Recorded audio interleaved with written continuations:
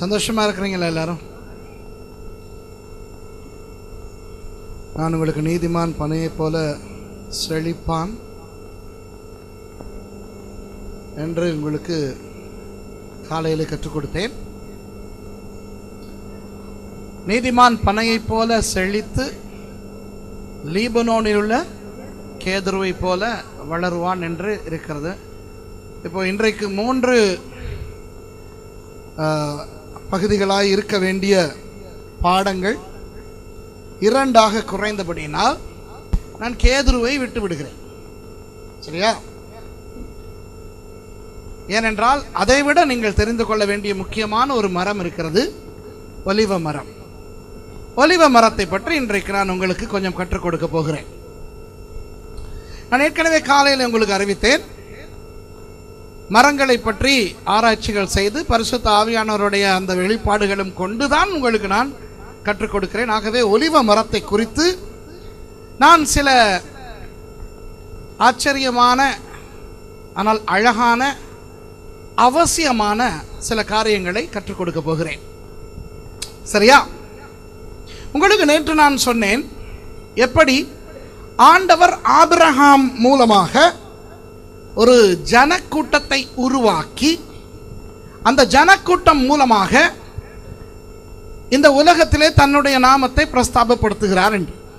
Abraham மூலமாக உருவாகிய அந்த ஜனக்கூட்டத்தாருக்கு பெயர் இஸ்ரவேலர்கள். சரியா? முதலாவது உங்களுக்கு ரோமர் பதினோராவது அதிகாரத்துக்கு உங்களுடைய வேதாகமங்களை திருப்பிக் கொள்ளுங்கள். ஏழாவது வசனத்தில் இருந்து வாசியுங்கள்.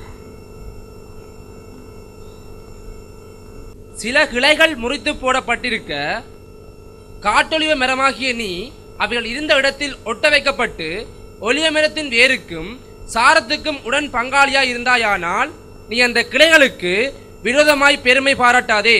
பெருமை பாராட்டுவாயானால் நீ வேரை சுமக்காமல் வேறு உன்னை சுமக்கிறது என்று நினைத்துக்கொள். நான் ஒட்ட வைக்கப்படுவதற்கு அந்த கிளைகள் முறித்து போடப்பட்டது என்று சொல்லுகிறாயே நல்லது. அபி விசுவாசத்தினாலே அவைகள் முறித்து போடப்பட்டன. நீ விசுவாசத்தினாலே நிற்கிறாய் மேட்டிமை சிந்தையை இராமல் பயந்திரு. சுவாவ கிளைகள் தேவன் தப்ப விடாதிருக்க உன்னையும் தப்ப விடாதிருப்பார் என்று எச்சரிக்கையாயிரு. என்று எச்சரிக்கையாயிரு. எச்சரிக்கையாயிரு. ரோம ரோமாபுரியில் இருந்த சபைக்கு பவுலடியார் இந்த நிருபத்தை எழுதுகிறார். ரோமாபுரி சபையிலே இரண்டு விதமான கிறிஸ்தவர்கள் இருந்தார்கள். ஒன்று யூதர்களாய் இருந்து ரட்சிக்கப்பட்டவர்கள் அல்லது இஸ்ரவேலர்களாய் இருந்து ரட்சிக்கப்பட்ட கிறிஸ்தவர்கள். மற்றவர்கள் உங்களைப் போல என்னைப் போல இஸ்ரவேலர் அல்லாதவர்களாய் அதாவது புறஜாதியாராய் இருந்து ரட்சிக்கப்பட்டவர்கள் சரியா? அப்போ அந்த ரோமாபுரி சபையிலே இரண்டு விதமான ஜனங்கள் இருந்த பொழுது அவர்களுக்குள்ளே ஒரு பிரச்சனை வந்தது. என்ன பிரச்சனை என்றா என்றால் இஸ்ரவேல் ஜனங்கள் ரட்சிக்கப்பட்ட இந்த யூதர்கள் யூதர்கள் என்றால் இஸ்ரவேல் ஜனங்கள் சரியா?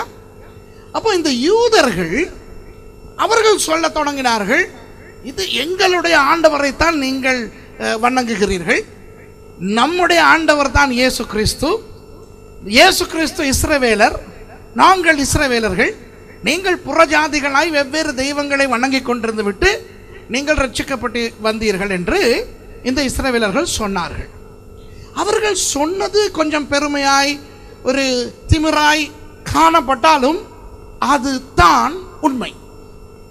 ஆனால் இந்த புறஜாதியாருக்கு இஸ்ரவேலர் இஸ்ரவேலர் அல்லாமல் ரட்சிக்கப்பட்ட சபைக்கு வந்தவர்களுக்கு இது கொஞ்சம் எரிச்சலாக இருந்தது. அவர்கள் இந்த யூதர்களை பார்த்து சொன்னார்கள் போங்கய்யா போகிறதுக்கு ஆ? உங்களைத்தான் ஆண்டவர் தள்ளி விட்டாரே நீங்கள் தான் உங்களுக்காக வந்த இயேசு வேண்டாம் என்று அவரை உதறி விட்டீர்களே. அவரை நிராகரித்து விட்டீர்களே. ஆகவே இப்போ புறஜாதியாராகிய எங்களுக்கு கிருபையாய் ஆண்டவர் இந்த வரத்தை கொடுத்து விட்டார். இனி இஸ்ரவேலர்களுக்கு இதில் பங்கில்லை. இனி நம்முடைய காலம்தான் என்று சொல்ல ஆரம்பித்தார்கள். இந்த பிரச்சனை வளர்ந்து வளர்ந்து வளர்ந்து சபை பிரிகின்ற அளவுக்கு ரோமாபுரியிலே வந்துவிட்டது.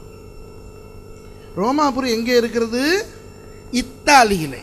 இன்றைக்கும் ரோமாபுரி இருக்கிறது. இத்தாலியிலே. இஸ்ரவேல் மத்திய கிழக்கிலே இருக்கிறது. ஆகவே வேதத்திலே ரோமாபுரியார் என்று இந்த இடத்துல சொல்லப்பட்டால் உடனே நீங்கள் அது இஸ்ரவேலிலே நடக்கிற சம்பவம் என்று நினைக்கக்கூடாது.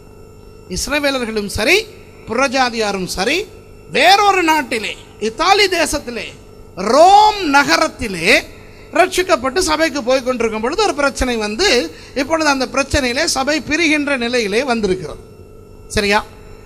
ஆகவே பவுல் தன்னுடைய அவர் அவர்களுக்கு எழுதின ரோமாபுரி சபைக்கு எழுதின நிருபத்திலே யூதர்களுக்கு அதாவது இஸ்ரவேல் ஜனங்களுக்கு அவர் சில புத்திமதிகளை சொல்லுகிறார். அது நமக்கு இந்த பாடத்துக்கு அவசியம் இல்லை புறஜாதியாருக்கு அவர் என்ன அறிவுரை சொல்லுகிறார் என்பதனைத்தான் இன்று நாம் படிக்க வேண்டும். ஏனென்றால் நாம் புறஜாதிகள். சரியா? நாம் இஸ்ரேவேலர்கள் அல்ல நாம் புறஜாதிகள். இப்போ இந்த வசனங்களை நீங்கள் விபரம் தெரியாமல் வாசித்தால் உங்களுக்கு புரியாது. இந்த வசனத்தை நான் உங்களுக்கு புரியப்படுத்துகிறேன் கேளுங்கள். ஆண்டவர் சொல்லுகிறார் பவுல் மூலமாக புறஜாதியாரை பார்த்து ஒலிவ மரம் இஸ்ரவேல். என்ன மரம்? ஒலிவ மரம் இஸ்ரவேல். அப்போ ஒலிவ மரத்தில் என்ன கிளைகள் இருக்கும்? ஒலிவ கிளைகள் இருக்கும். அந்த ஒலிவ கிளைகளை வெட்டி போட்ட ஆண்டவர் காட்டிலே இருந்த காட்டொலிவம் என்றொன்று இருக்கிறது அது ஒன்றுக்கும் உதவாதது. சரியா? அது விஷம் நிறைந்தது. அந்த காட்டு ஒலிவ கிளைகளை வெட்டி அந்த கிளைகளை கொண்டு வந்து இந்த நல்ல ஒலிவ மரத்திலே ஒட்ட வைத்தார். எத்தனை பேருக்கு மரவள்ளி கிழங்கு தெரியும்? மரவள்ளி கிழங்கிலே நாட்டு மரவள்ளி காட்டு மரவள்ளி என்று இருக்கிறது உங்களுக்கு தெரியும் அல்லவா? காட்டு மரவள்ளி சாப்பிடலாமா? சாப்பிட்டால் என்ன நடக்கும்? செத்து போவோம். ஏன்? விஷம். ஆகவே நாட்டு மரவள்ளி நாட்டிலே இருக்கிற மரவள்ளி காட்டு மரவள்ளி காட்டிலே இருக்கிற மரவள்ளி என்று சும்மா சொல்லக்கூடாது. அது காட்டு மரவள்ளி என்று அழைக்கப்படுவது அது விஷம் நிறைந்த மரவள்ளி என்றபடியினால். அதுபோல இஸ்ரவேலிலே நாட்டு ஒலிவம் என்று இருக்கிறது காட்டு ஒலிவம் என்று இருக்கிறது காட்டு ஒலிவ பழங்களை சாப்பிட்டால் சாக மாட்டார்கள் ஆனால் அவர்கள் டொய்லெட்டிலேயே கிடப்பார்கள். உண்மையை சொல்லணும் தானே நான் உங்களுக்கு? இப்போ நாட்டொழிவு மரம் மாதிரி தான் பார்ப்பதற்கு இருக்கும். ஆனால் தவறுதலாக அதை மவனை சாப்பிட்டு விட்டால் அப்புறம் இரண்டு மூன்று நாள் கக்கூசிலே க குடியாக இருக்க வேண்டியதுதான் வயிற்றோட்டம் எடுக்கும். சரியா? அப்போ ஆண்டவர் பவுல் மூலமாக என்ன அழகாக இஸ்ரவேலர்களுக்கும் எங்களுக்கும் இருக்கின்ற வித்தியாசத்தை காட்டுகிறார் என்று பாருங்கள். இஸ்ரவேல் ஜனங்களை நாட்டான்கள் என்றும் நம்மை காட்டான்கள் என்றும் ஆண்டவரே சொல்லிவிட்டார். சரியோ? இப்போ நீங்கள் இதை குறித்து கோபப்பட தேவையில்லை துக்கப்பட தேவையில்லை. ஏனென்றால் இதை வல்லமையாய் பிரசங்கம் பண்ணுகிற நானும் காட்டான் தான் உங்களை போல. இப்போ இதே இது ஒரு இஸ்ரவேலன் வந்து பேசினால் நீங்கள் கொஞ்சம் வருத்தப்பட நியாயம் ஐயோ இங்கே அங்கெல்லாம் கொஞ்சம் கவனிங்களேன் இது ரொம்ப முக்கியமான ஒரு பாடம் படித்து கொடுக்குறேன் நான். சரியா? நீங்கள் கொடுங்க அமைதியாக கொடுங்க. சரியா? கவனிங்க. ஏன்னா இது முக்கியமான பாடம். எல்லாரும் கேட்க வேண்டிய ஒரு பாடம் ஒரு பயங்கர ரகசியம் தேவ ரகசியங்கள் கொண்ட பாடம். சரியா? நன்றாக கவனிங்க. அப்போ நாட்டு இப்போ நாம் காட்டான்கள் தான். செய்ய வழி இல்லை. இப்போ என்ன நடந்தது என்றால் அன்பானவர்களே என்றைக்கு ஆண்டவர் ஆபிரகாமை தெரிவு செய்து அந்த ஆபிரகாம் மூலமாக ஒரு ஜாதியை உண்டாக்கினாரோ அந்த ஜாதிக்கு தான் எல்லா ஆசீர்வாதங்களும் அந்த ஜாதிக்கு தான் அவர் எல்லா நன்மைகளும் கொடுத்தார். அவர்கள் மூலமாகத்தான் உலகத்துக்கு ஆசீர்வாதம். சரியா? அதாவது ஒரு ஒரு வீட்டிலே ஒரு சொந்த பிள்ளை இருக்கத்தக்க அந்த சொந்த பிள்ளைக்கு கொடுத்து முடிந்த சாப்பாடெல்லாம் அந்த மற்றவர்களுக்கு கொடுப்பது போலத்தான் இஸ்ரவேலர்களுக்கு ஆசீர்வாதத்தை கொடுக்கிற தேவன் மற்றவர்களுக்கு ஆசீர்வாதத்தை கொடுத்திருக்கிறார். நேற்று உங்களில் அநேகருக்கு நேற்று வந்தவர்களுக்கு நான் சொன்னேன் எப்படி இஸ்ரவேல் ஜனங்கள் மூலம் பூமியின் குடிகள் பூமியின் வம்சங்கள் எல்லாம் ஆசீர்வதிக்கப்பட்டன என்று. நான் சொன்ன சில விஷயங்கள் ஞாபகம் வருகிறதா? பல்ப் கண்டுபிடித்த தாமஸ் ஆல்வா எடிசன் டெலிஃபோன் கண்டுபிடித்த அலெக்சாண்டர் கிரஹாம்பெல் பெல் தொலைக்காட்சி கண்டுபிடித்தவர் கண்டு கம்ப்யூட்டர் கண்டுபிடித்தவர் பென்சிலின் மருந்து கண்டுபிடித்தவர் ரயில் கண்டுபிடித்தவர்கள் விமானத்தை கண்டுபிடித்த ரைட் சகோதரர்கள் எல்லாமே இஸ்ரவேல் ஜனங்கள். எந்தெந்த வெவ்வேறு நாடுகளிலே வாழ்ந்தவர்களாக இருந்தாலும் அவர்கள் எல்லாருமே யூதர்கள். சரியா? அதை விட உங்களுக்கு தெரியுமா? இரண்டாவது உலக மகா யுத்தம் முடிவுக்கு வந்தது அல்லவா இரண்டாவது உலக மகா யுத்தம் முடிவுக்கு வந்தபோது இரண்டு வெற்றிகள் உலகத்துக்கு கிடைத்தன. ஒன்று விக்டரி இன் யூரோப் ஐரோப்பாவில் வெற்றி. ஹிட்லரை தோல்வியடையச் செய்து ஐரோப்பியாவை மர் நேச நாடுகள் கைப்பற்றின அந்த வெற்றி. ஆனால் அந்த வெற்றிக்கும் இலங்கை வாழ் நமக்கும் சம்பந்தம் இல்லை ஏனென்றால் நம்மை ஹிட்லரனுடைய படை தாக்கவில்லை. இந்த பக்கத்தில் இருந்து ஜப்பான் தாக்கிக் கொண்டிருந்தது. திருகோணமலையிலேயும் கொழும்பிலேயும் குண்டுகள் விழுந்தன. எத்தனை பேருக்கு தெரியாது? இப்ப தெரிஞ்சுக்கிறேங்க. கொழும்பிலும் திருகோணமலையிலும் ஜப்பான்காரன் வந்து குண்டு போட்டான். ஜப்பான்காரனை தோற்கடிக்காவிட்டால் என்ன நடந்திருக்கும் என்று நான் உங்களுக்கு கொஞ்ச நேரத்திலே சொல்லுகிறேன். ஆனால் அதற்கு முன்பதாக ஒன்று சொல்லுகிறேன். ஜப்பானியர்கள் அடக்கப்பட முடியாத ஒரு பெரிய சக்தியாக இருந்தார்கள். அவர்கள் பயங்கரமாக யுத்தம் செய்து கொண்டிருந்த பொழுது அவர்களை அடக்க முடியாத அமெரிக்கர்கள் இரண்டு அணுகுண்டுகளை போட்டார்கள். ஒரு அணுகுண்டுக்கு பேர் லிட்டில் பாய் எல்லாரும் சொல்லுங்க லிட்டில் பாய் அணுகுண்டுக்கு பேர் லிட்டில் பாய் அதை ஆயிரத்தி தொள்ளாயிரத்தி நாற்பத்தி ஐந்தாம் ஆண்டு ஆகஸ்ட் மாதம் ஹிரோஷிமா நகரிலே போய் போட்டார்கள். ஏராளமானோர் அழிந்து போனார்கள். அதற்கு பிறகு அது வந்து ஹைட்ரஜன் குண்டு. நைட்ரஜன் குண்டு ஒன்றை செய்து அந்த குண்டுக்கு பேர் வைத்தார்கள் ஃபேட் மேன் என்ன சாமா? ஃபேட் மேன் என்றால் தடி மனிதன். லிட்டில் பாய் என்றால் சின்ன பையன். குண்டுக்கு பேர் வைக்கிறான் பாருங்க. லிட்டில் பாய் ஹிரோஷிமா நகரிலே விழுந்து லட்சக்கணக்கானோரை கொன்றது. நாகசாக்கி என்ற நகரில் இந்த ஃபேட்மேன் என்ற நைட்ரஜன் குண்டை போட்டு அதை வெடிக்கச் செய்து அதிலும் லட்சக்கணக்கான ஜப்பானியர்கள் மடிந்தார்கள். இந்த இரு பெரும் நகரங்களில் லட்சக்கணக்கானோரை இந்த குண்டு அணு குண்டுக்கு பலி கொடுத்த ஜப்பான் அமெரிக்காவிடம் சரண் அடைந்தது. இன்று வரை அநேகர் அமெரிக்காவை திட்டுகிறார்கள். ஈவு இரக்கம் இல்லாமல் லட்சக்கணக்கான ஜனங்களை ஹிரோஷிமா நாகசாக்கியிலே கொன்றார்கள் என்று. இதில் உங்களுக்கு இரண்டு பெரிய ரகசியங்களை நான் சொல்ல விரும்புகிறேன்.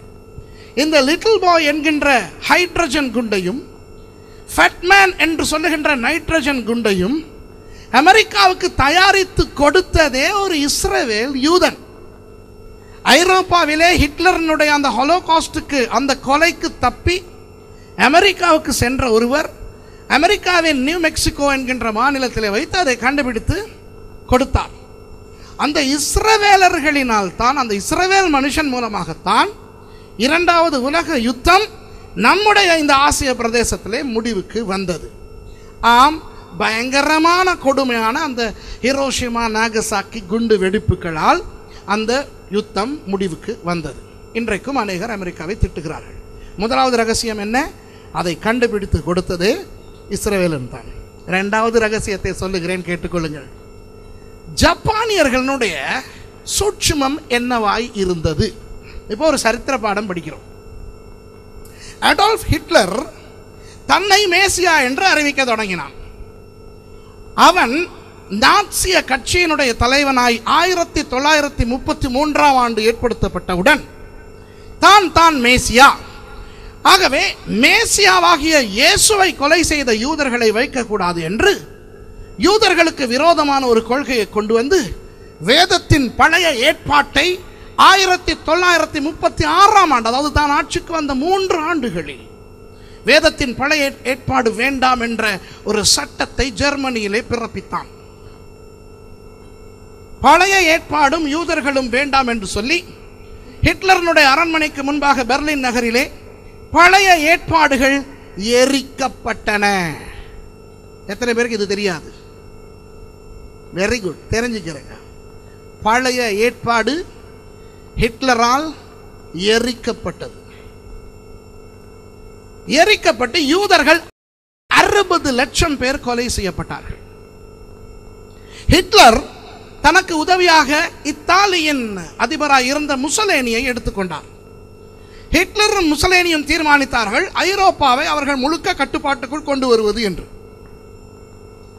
ஜப்பானிய அரசனோடு அவர்கள் எம்பரர் அந்த சர்வாதிகார் அந்த சக்கரவர்த்தியோடு அவர்கள் பேசி முழு ஆசியாவையும் ஜப்பானிய கட்டுப்பாட்டுக்குள் கொண்டு வரும்படி ஜப்பானுக்கு சொன்னார்கள். ஜப்பானும் ஜெர்மனியும் நேசமாய் இருந்தன. ஜப்பான் என்ன தீர்மானித்தது? ஜப்பானியர்களுடைய கொள்கை ஹிட்லருடைய கொள்கை போன்றதே தான். அதாவது ஹிட்லருடைய அந்த வம்சம் ஆரிய வம்சம் அதி உயர்ந்த தூய்மையான வம்சம் என்று அவர்கள் நினைத்தது போலவே ஜப்பானியர்கள் தாங்கள் உயர்ந்த குலத்தோர். சீனர்கள் கொரியர்கள் வியட்நாமியர்கள் இந்தியர்கள் எல்லாருமே தாழ்ந்த குலத்தோர் என்று நம்பினார்கள். ஆகவே ஜப்பானினுடைய கொள்கை என்னவா இருந்தது என்றால் கொஞ்சம் கொஞ்சமாக சீனா வியட்நாம் பிலிப்பீன்ஸ் எல்லாவற்றையும் கைப்பற்றிக் கொண்டு பர்மா இந்தியா வழியாக வந்து இலங்கை எல்லா இந்த முழு ஆசியாவையும் கைப்பற்றி அந்த ஆசியாவில் இருக்கின்ற தாழ்ந்த குலத்தோராகிய ஜப்பானியர் இல்லாத எல்லாரிடமும் இந்த ஆசியாவை முன்னேற்றுவதற்குரிய வேலையை வாங்கிவிட்டு அவர்களை அப்படியே சாகடிப்பது. தெரியுமா? அதாவது முழு ஆசியாவையும் ஜப்பான் கைப்பற்றும் அவர்கள் கைப்பற்றியவுடன் இந்த கைப்பற்றப்பட்ட நாடுகளின் ஜனங்களை கொண்டு அந்த அந்த நாடுகளை அவர்கள் முன்னேற்றிவிட்டு அந்த நாடுகளின் ஜனங்களை அடிமைகளாய் வைத்திருப்பார்கள். அவர்கள் சாகும் வரை அல்லது வேலை செய்யும் பொழுது அவர்கள் ஏதாவது குழப்படி செய்தால் சுட்டு கொன்று விடுவார்கள். அல்லது புஷிடோ வாழினால் வெட்டி கொள்வார்கள். இதை அவர்கள் செய்து ஏற்கனவே வியட்நாம் பிலிப்பீன் அந்த பிரதேசங்களிலே அவர்கள் இதை செய்து கொண்டு வந்தார்கள். அன்பானவர்களே அவர்கள் சிங்கப்பூர் மலாயா இவற்றையும் பிடித்துவிட்டு பர்மாவையும் பிடித்துவிட்டு வட இந்தியாவை பிடித்து கொண்டு வந்தார்கள் தெற்கை நோக்கி. அந்த நேரத்தில் அவர்களுக்கு தென் இந்தியாவையும் சிங்கப்பூரையும் மலாயாவை பிடித்தாலும் சிங்கப்பூரை பிடிக்க முடியவில்லை. இலங்கையும் அவர்கள் பிடிப்பதற்கு தடையாக இருந்தது பிரித்தானிய இராணுவத்தில். இந்த தேசத்து ஜனங்களும் சேர்ந்து போரிட்டபடியினால். ரொம்ப போரிங்காக இருக்கும். ஆனால் நான் உங்களுக்கு இதை சொல்லித்தான் ஆகணும். ஒரு வேளை ஹிரோஷிமா நாகசாக்கி அந்த குண்டுகள் விழுந்திராவிட்டால் ஜப்பான் என்ற அந்த பெரிய அரக்கன் India Ilangai Burma China Vietnam Korea Thailand அத்தனை நாடுகளையும் பிடித்து அகப்பட்ட எல்லார் மூலமாகவும் அந்த நாடுகளை மேம்படுத்தி கொண்டு அவர்களை சாகடித்திருப்பான் அப்படி சாகடித்திருந்தால் இன்றைக்கு நீங்கள் யாரும் இந்த இடத்துல இருக்க மாட்டீர்கள். தெரியுமா உங்களுக்கு? அநேகருக்கு தெரியாத ரகசியமானால் சரித்திர உண்மை. அவர்களுடைய அஜெண்டா அவர்களுடைய பிளான் திட்டம் இதுவாய்த்தான் இருந்தது. இதுதான் அவர்களுடைய ரகசிய திட்டம். அந்த ஜப்பானை நிறுத்துவதற்கு இவர்களுக்கு முடியாமல் இருந்தது. ஏனென்றால் அவர்கள் யுத்தம் செய்யும் பொழுது பயங்கரமாக யுத்தம் செய்தார்கள். சரியா? அவர்களை நிறுத்துவதற்கு ஒரே வழி லிட்டில் பாயும் ஃபேட் மேனும் தான். சரியா? இன்றைக்கு பெரிதாக நீங்கள் திட்டலாம். எத்தனையோ பேர் திட்டலாம். ஈவு இரக்கம் இல்லாமல் இவர்கள் இப்படி அமெரிக்கர்கள் போய் ஜப்பானுக்கு குண்டி போ குண்டு போட்டார்கள் என்று. மவனை அந்த ரெண்டு குண்டு விழுந்திருக்காவிட்டால் இன்றைக்கு யாழ்ப்பாணமும் இருக்காது. நீங்களும் இருக்க மாட்டீர்கள். நம்முடைய தாத்தா பாட்டிமார் யாருமே இருக்க மாட்டார்கள். எல்லாரையும் ஆயிரத்தி தொள்ளாயிரத்தி ஐம்பதுக்குள்ளாக அவர்கள் கொலை செய்திருப்பார்கள். புரிகிறதா? இன்றைக்கு நீங்கள் இருப்பதற்கு காரணம் ஒரு யூதன் ஒரு இஸ்ரவேலன் ஜப்பானை அடக்குகின்ற அணுகுண்டை கண்டுபிடித்து கொடுத்தது. பூமியின் வம்சங்கள் எல்லாம் இஸ்ரேலர்கள் மூலமாய் ஆசீர்வதிக்கப்படும் என்பதற்கு இதுவும் ஒரு கா- காரணம். சரியா? இன்றைக்கு அநேகருக்கு இது தெரியாது. நான் இதை நிறைய சொல்ல விருப்பம் ஆனால் எனக்கு இருக்கிற நேரத்தின்படி இதெல்லாம் எனக்கு சொல்ல போதாது. இப்போ அன்பானவர்களே ஆண்டவர் ஒலிவ மரம் என்று அந்த இஸ்ரவேலை அழைத்து அந்த இஸ்ரவேலருடைய வாதுகளை வெட்டிவிட்டார். ஏன் வாதுகளை வெட்டினார்? அவர்கள் தங்களுடைய மேசியாவாகிய இயேசுவை ஏற்றுக்கொள்ளவில்லை. உங்களுக்கு தெரியும். இயேசு பெத்லஹேமிலே பிறந்தார் இஸ்ரவேலிலே பிறந்தார் யூதா கோத்திரத்திலே வந்தார். ஆனால் அந்த இஸ்ரவேல் ஜனங்கள் அவரை ஏற்றுக்கொள்ளவில்லை. அவரை கொலை செய்தார்கள். ரோமர்களை வைத்து இயேசுவை அவர்கள் குத்தினார்கள் கொலை செய்தார்கள். அந்த காரணத்தினால் அவர்களுடைய அந்த பெருமையினால் ஆண்டவர் அவர்களை வெட்டினார். எப்பொழுது அந்த வாதுகள் வெட்டப்பட்டன தெரியுமா? இயேசு சிலுவையில் அறையப்பட்டு நாற்பது வருஷங்களில். ஏன்? நாற்பது என்று நீங்கள் வேதத்திலே பார்த்தால் நாற்பது முக்கியமான ஒரு இலக்கம். அநேகர் நாற்பது நாட்கள் உபவாசம் இருந்தார்கள். மோசே நாற்பது நாட்கள் உபவாசம் இருந்தார். எலியா நாற்பது நாட்கள் உபவாசம் இருந்தார். இயேசு நாற்பது நாட்கள் உபவாசம் இருந்தார். நாற்பது நாட்கள் உபவாசம் இருக்கும் பொழுது அவர்களுக்கு ஆவிக்குரிய ரகசியங்கள் ஆவிக்குரிய சத்தியங்கள் தெரிய வரும். அதுபோல எகிப்தை விட்டு புறப்பட்ட இஸ்ரவேல் ஜனங்கள் கானான் தேசத்தை அடைவதற்கு நாற்பது வருஷங்கள் சென்றன. அவர்களுக்கு ஆண்டவர் நாற்பது வருஷங்கள் கொடுத்தார். அந்த எகிப்திய நம்பிக்கைகளை எல்லாம் முழுக்க விட்டுவிட்டு ஒரு புத்தம் புதிய நம்பிக்கையோடு கானான் தேசத்துக்குள்ளே வருவதற்கு. ஒரு ஒரு சந்ததிக்கு ஒரு தேசத்துக்கு ஒரு ஜாதிக்கு நாற்பது வருஷங்கள் போதும் அவர்களுடைய முழு கலாச்சாரமும் மாறுவதற்கு. ஆமாவா இல்லையா?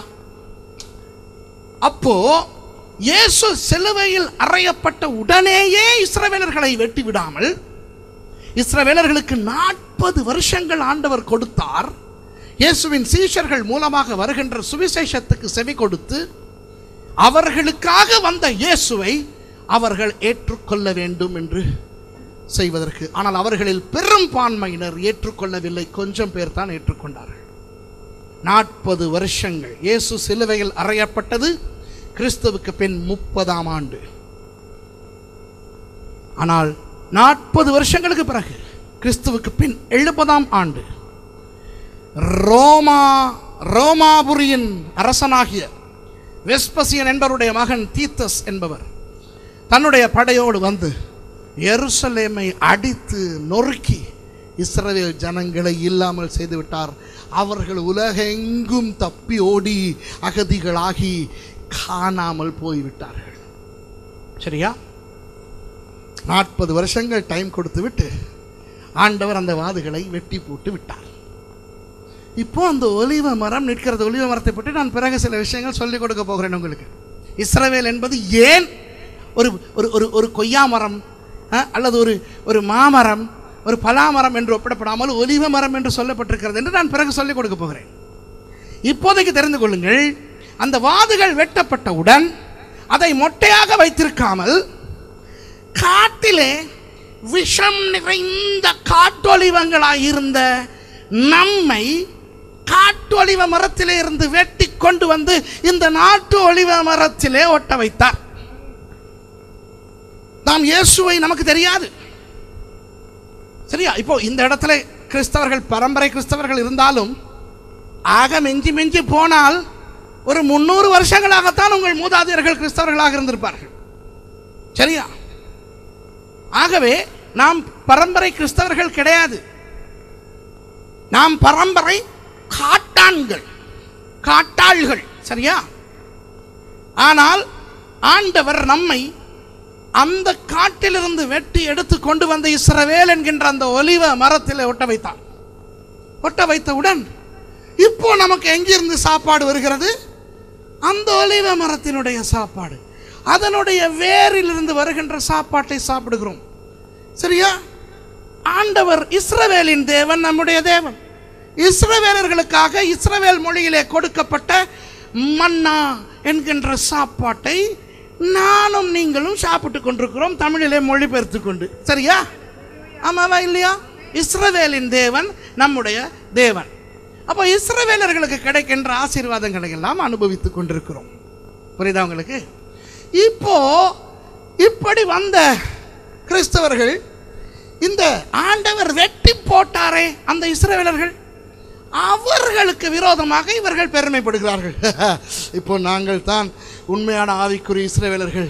அந்த அந்த இஸ்ரேவேலர்களுடைய கதை முடிந்து விட்டது. இப்போ ஆண்டவர் நம்மேல் தான் எல்லாவற்றையும் வைத்திருக்கிறார் என்று பெருமைப்பட்டு அந்த இஸ்ரேவேலர்களுக்கே விரோதமாக கையை நீட்டுகிறார்கள். ஆனால் வேதம் என்ன சொல்லுகிறது இஸ்ரேவேலர்களை குறித்து? அவர்களை ஆசீர்வதிக்கிறவர்களை ஆசிர்வதிப்பேன். அவர்களை சபிக்கிறவர்களை சபிப்பேன். ஆகவே இன்றைக்கும் கூட அநேக கிறிஸ்தவர்கள் தங்களுக்கே தெரியாமல் இஸ்ரேலர்களை ஒன்று சபிக்கிறார்கள் அல்லது ஆசீர்வதிக்காமல் இருக்கிறார்கள். இது ரெண்டுமே பிரச்சனை தான் சரியா? இஸ்ரவேலை சபித்தால் நமக்கு சாபம். இஸ்ரவேலை ஆசீர்வதிக்காவிட்டால் நமக்கு ஆசீர்வாதம் இல்லை. ஆசீர்வதித்தால் நமக்கு ஆசீர்வாதம். அப்போ நீங்கள் விளங்கிக் கொள்ளுங்கள். இஸ்ரவேல் சுபாவ ஒலிவ மரம் நாம் காட்டிலிருந்து வந்தவர்கள். பவுலடியார் சொல்லுகிறார் அவர்கள் பெருமைப்பட்டபடினால் சுபாவ கிளைகளையே ஆண்டவர் வெட்டினாரே மவனே நீ காட்டிலே இருந்து கொண்டு வந்து ஒட்ட வைக்கப்பட்ட கிளை கவனமாயிரு உன்னை வெட்டி போட எவ்வளவு நேரமாகும் என்று கேட்கிறார். உண்மைதானே? புரியுதா உங்களுக்கெல்லாம்? ஒரிஜினலையே வெட்டி போட்டார் என்றால் ஓவராக விளையாடாதே உன்னை வெட்டி போட ரொம்ப நேரம் போகாது. அவர்களுக்கு விரோதமாக பெருமை பாராட்டாது. ஏனென்றால் நீ வேரை சுமக்காமல் வேர் உன்னை சுமக்கிறது என்று தெரிந்து கொள். நீ இஸ்ரவேலுக்காக ஆசி அவர்களை ஆசீர்வதித்து ஜபிக்கிறபடியினால் அவர்கள் ஆசீர்வாதமாக இல்லை. நாம் ஆசீர்வதிக்கப்பட வேண்டும் என்பதற்காக அவர்களை ஆசீர்வதித்து ஜெபிக்க வேண்டும். அவ்வளோதான் சரியா? சரி இப்போ இந்த ஒலிவ மரத்தை பற்றி நான் சில லட்சணங்களை உங்களுக்கு சொல்ல போகிறேன். அதில் ஒன்று யாருக்கிட்டையாவது இங்கிலீஷ் பைபிள் ஒன்று இருக்குதா? ரெடி பண்ணி வச்சுக்கிறோங்க. ஆ, உங்ககிட்ட டாய்ச் பைபிள் இருக்குதா? ஆ புரட்டிக்கிறங்க. ஜெனசிஸ் ஆதியாகமும் எட்டாவது அதிகாரம். ஆ இங்கிலீஷ் பைபிள் இருந்துச்சுன்னு சொன்னால் வச்சுக்கிறேங்க. நான் ஒரு விஷயம் காட்டுறதுக்காக ஏன்னா தமிழில் பார்க்கும்போது தமிழில் அது இல்லை அதனால தான் ஒளிவ மரத்தை பற்றி ஒரு விஷயம் சொல்லி கொடுக்க போகிறேன் உங்களுக்கு. ஒளிவ மரத்தை அழிக்க முடியாது. ஒளிவ மரத்தினுடைய ஒரு தன்மை அதை அழிக்க முடியாது. எவ்வளவு வெட்டி போட்டாலும் அந்த வேர் இருக்கிறதே அது நிலத்துக்கு அடியிலே எங்காவது ஓடி போய் வேறொரு இடத்துல முளைத்து அது மரமாய் வந்துவிடும். சரியா? ஒலிவ மரத்தை தண்ணீருக்குள்ளே போட்டு வருஷக்கணக்காக வைத்தாலும் அது சாகாது. இந்த சாகா வரம் பெற்ற ஒரு மரம் என்றால் அது ஒலிவ மரம் தான் சரியா? இப்போ இது வந்து தாவரவியலினால் உறுதிப்படுத்தப்பட்ட ஒரு உண்மை. ஆனால் வேதத்திலேயும் நான் உங்களுக்கு ஒரு விஷயத்தை காண்பிக்க விரும்புகிறேன். ஞாபகம் இருக்கிறதா? நோவா காலத்திலே ஒரு வெள்ளம் வந்தது அல்லவா அந்த வெள்ளம் வந்து வடிந்த பிறகு வெள்ளம் வந்து எவ்வளவு காலம் இருந்தது? நூற்றி ஐம்பது நாட்கள். ஆண்டவர் நோவாவையும் அந்த பேழையில இருந்தவர்களையும் நினைவு கூர்ந்த பிறகு ஜலம் வற்றத் தொடங்கியது. எத்தனை நாளில் வற்றியது? இல்ல நூற்றி ஐம்பது நாள். ரெண்டு நூற்றி ஐம்பது நாட்கள் நடந்தன. நீங்கள் பிறகு வாசித்து பாருங்கள். ஆதியாகமம் ஏழாம் அதிகாரம் எட்டாம் அதிகாரங்களை நீங்கள் வாசிங்கள். எனக்கு நேரம் போதாது. சரியா? உங்கள் கையில் இருக்கும் ஆதியாகமம் ஏழாம் எட்டாம் அதிகாரங்களில் இது இருக்கிறது. அதாவது ஜலம் நூற்று ஐம்பது நாட்கள் அப்படியே நின்றது. நூற்று ஐம்பது நாட்கள். அந்த ஜலம் வடிய தொடங்கி முழுக்க வடிந்து முடிய எடுத்துக்கொண்ட நாட்கள் நூற்றி ஐம்பது நாட்கள். அப்போ ஏதாவது ஒன்று ஜலத்துக்கு அடியிலே மாட்டிக்கொண்டிருந்தால் அது எவ்வளவு காலம் ஜலத்துக்கு அடியிலே மாட்டிக்கொண்டிருந்தது? முன்னூறு நாட்கள். கிட்டத்தட்ட ஒரு வருஷம். சரிதானே? ஒரு ஒரு பத்து மாதம். சரியா?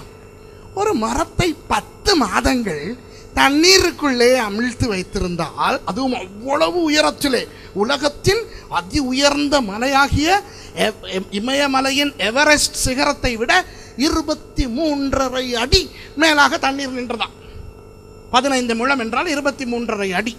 அவ்வளவு தண்ணீருக்குள்ளே ஒரு மரம் பத்து மாதங்கள் இருந்தால் அந்த மரம் உயிரோடு இருக்குமா? இருக்குமா? என்ற தெய்வமே. ஆமாண்ணா ஆமா இல்லைன்னா இல்லை கொஞ்சம் சொல்லுங்களேன் நான் மாத்திரம் கத்திக்கிட்டு இருக்கிறேன். இந்த முன்னுக்கு இருக்கிற ரெண்டு மூணு பேர் கத்திக்கிட்டு இருக்காங்க என்ற தெய்வமே. இப்போ இந்த வசனத்தை வாசிங்க எட்டாம் அதிகாரம் பதினோராவது வசனம். இங்கிலீஷ்லையும் டொய்ட்ஸ்லையும் திருப்பிக்கிறங்க எனக்கு தேவை எனக்கு தெரியல உங்களோட வேர்ஷன்ஸில் இருக்கான்ட்டு.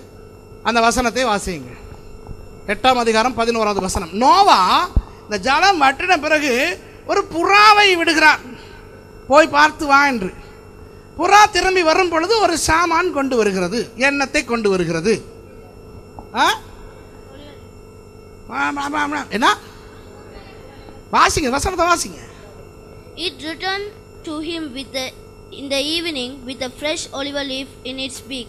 என்ன சாமான் Olive leaf. இங்கிலீஷ் தெரிஞ்சவங்க கேட்டுக்கொள்ளுங்க what olive leaf fresh Fresh ராஸ்டார் olive. தானே சத்தமா சொல்லுங்க ராசா It returned to him in the evening with a it fresh return to olive him leaf. In the evening With a fresh olive leaf in its with beak. A fresh olive leaf Fresh டொய்ச்சில் என்ன இருக்குது? அது இருக்குதா? அதில் என்ன சொல்லியிருக்குது?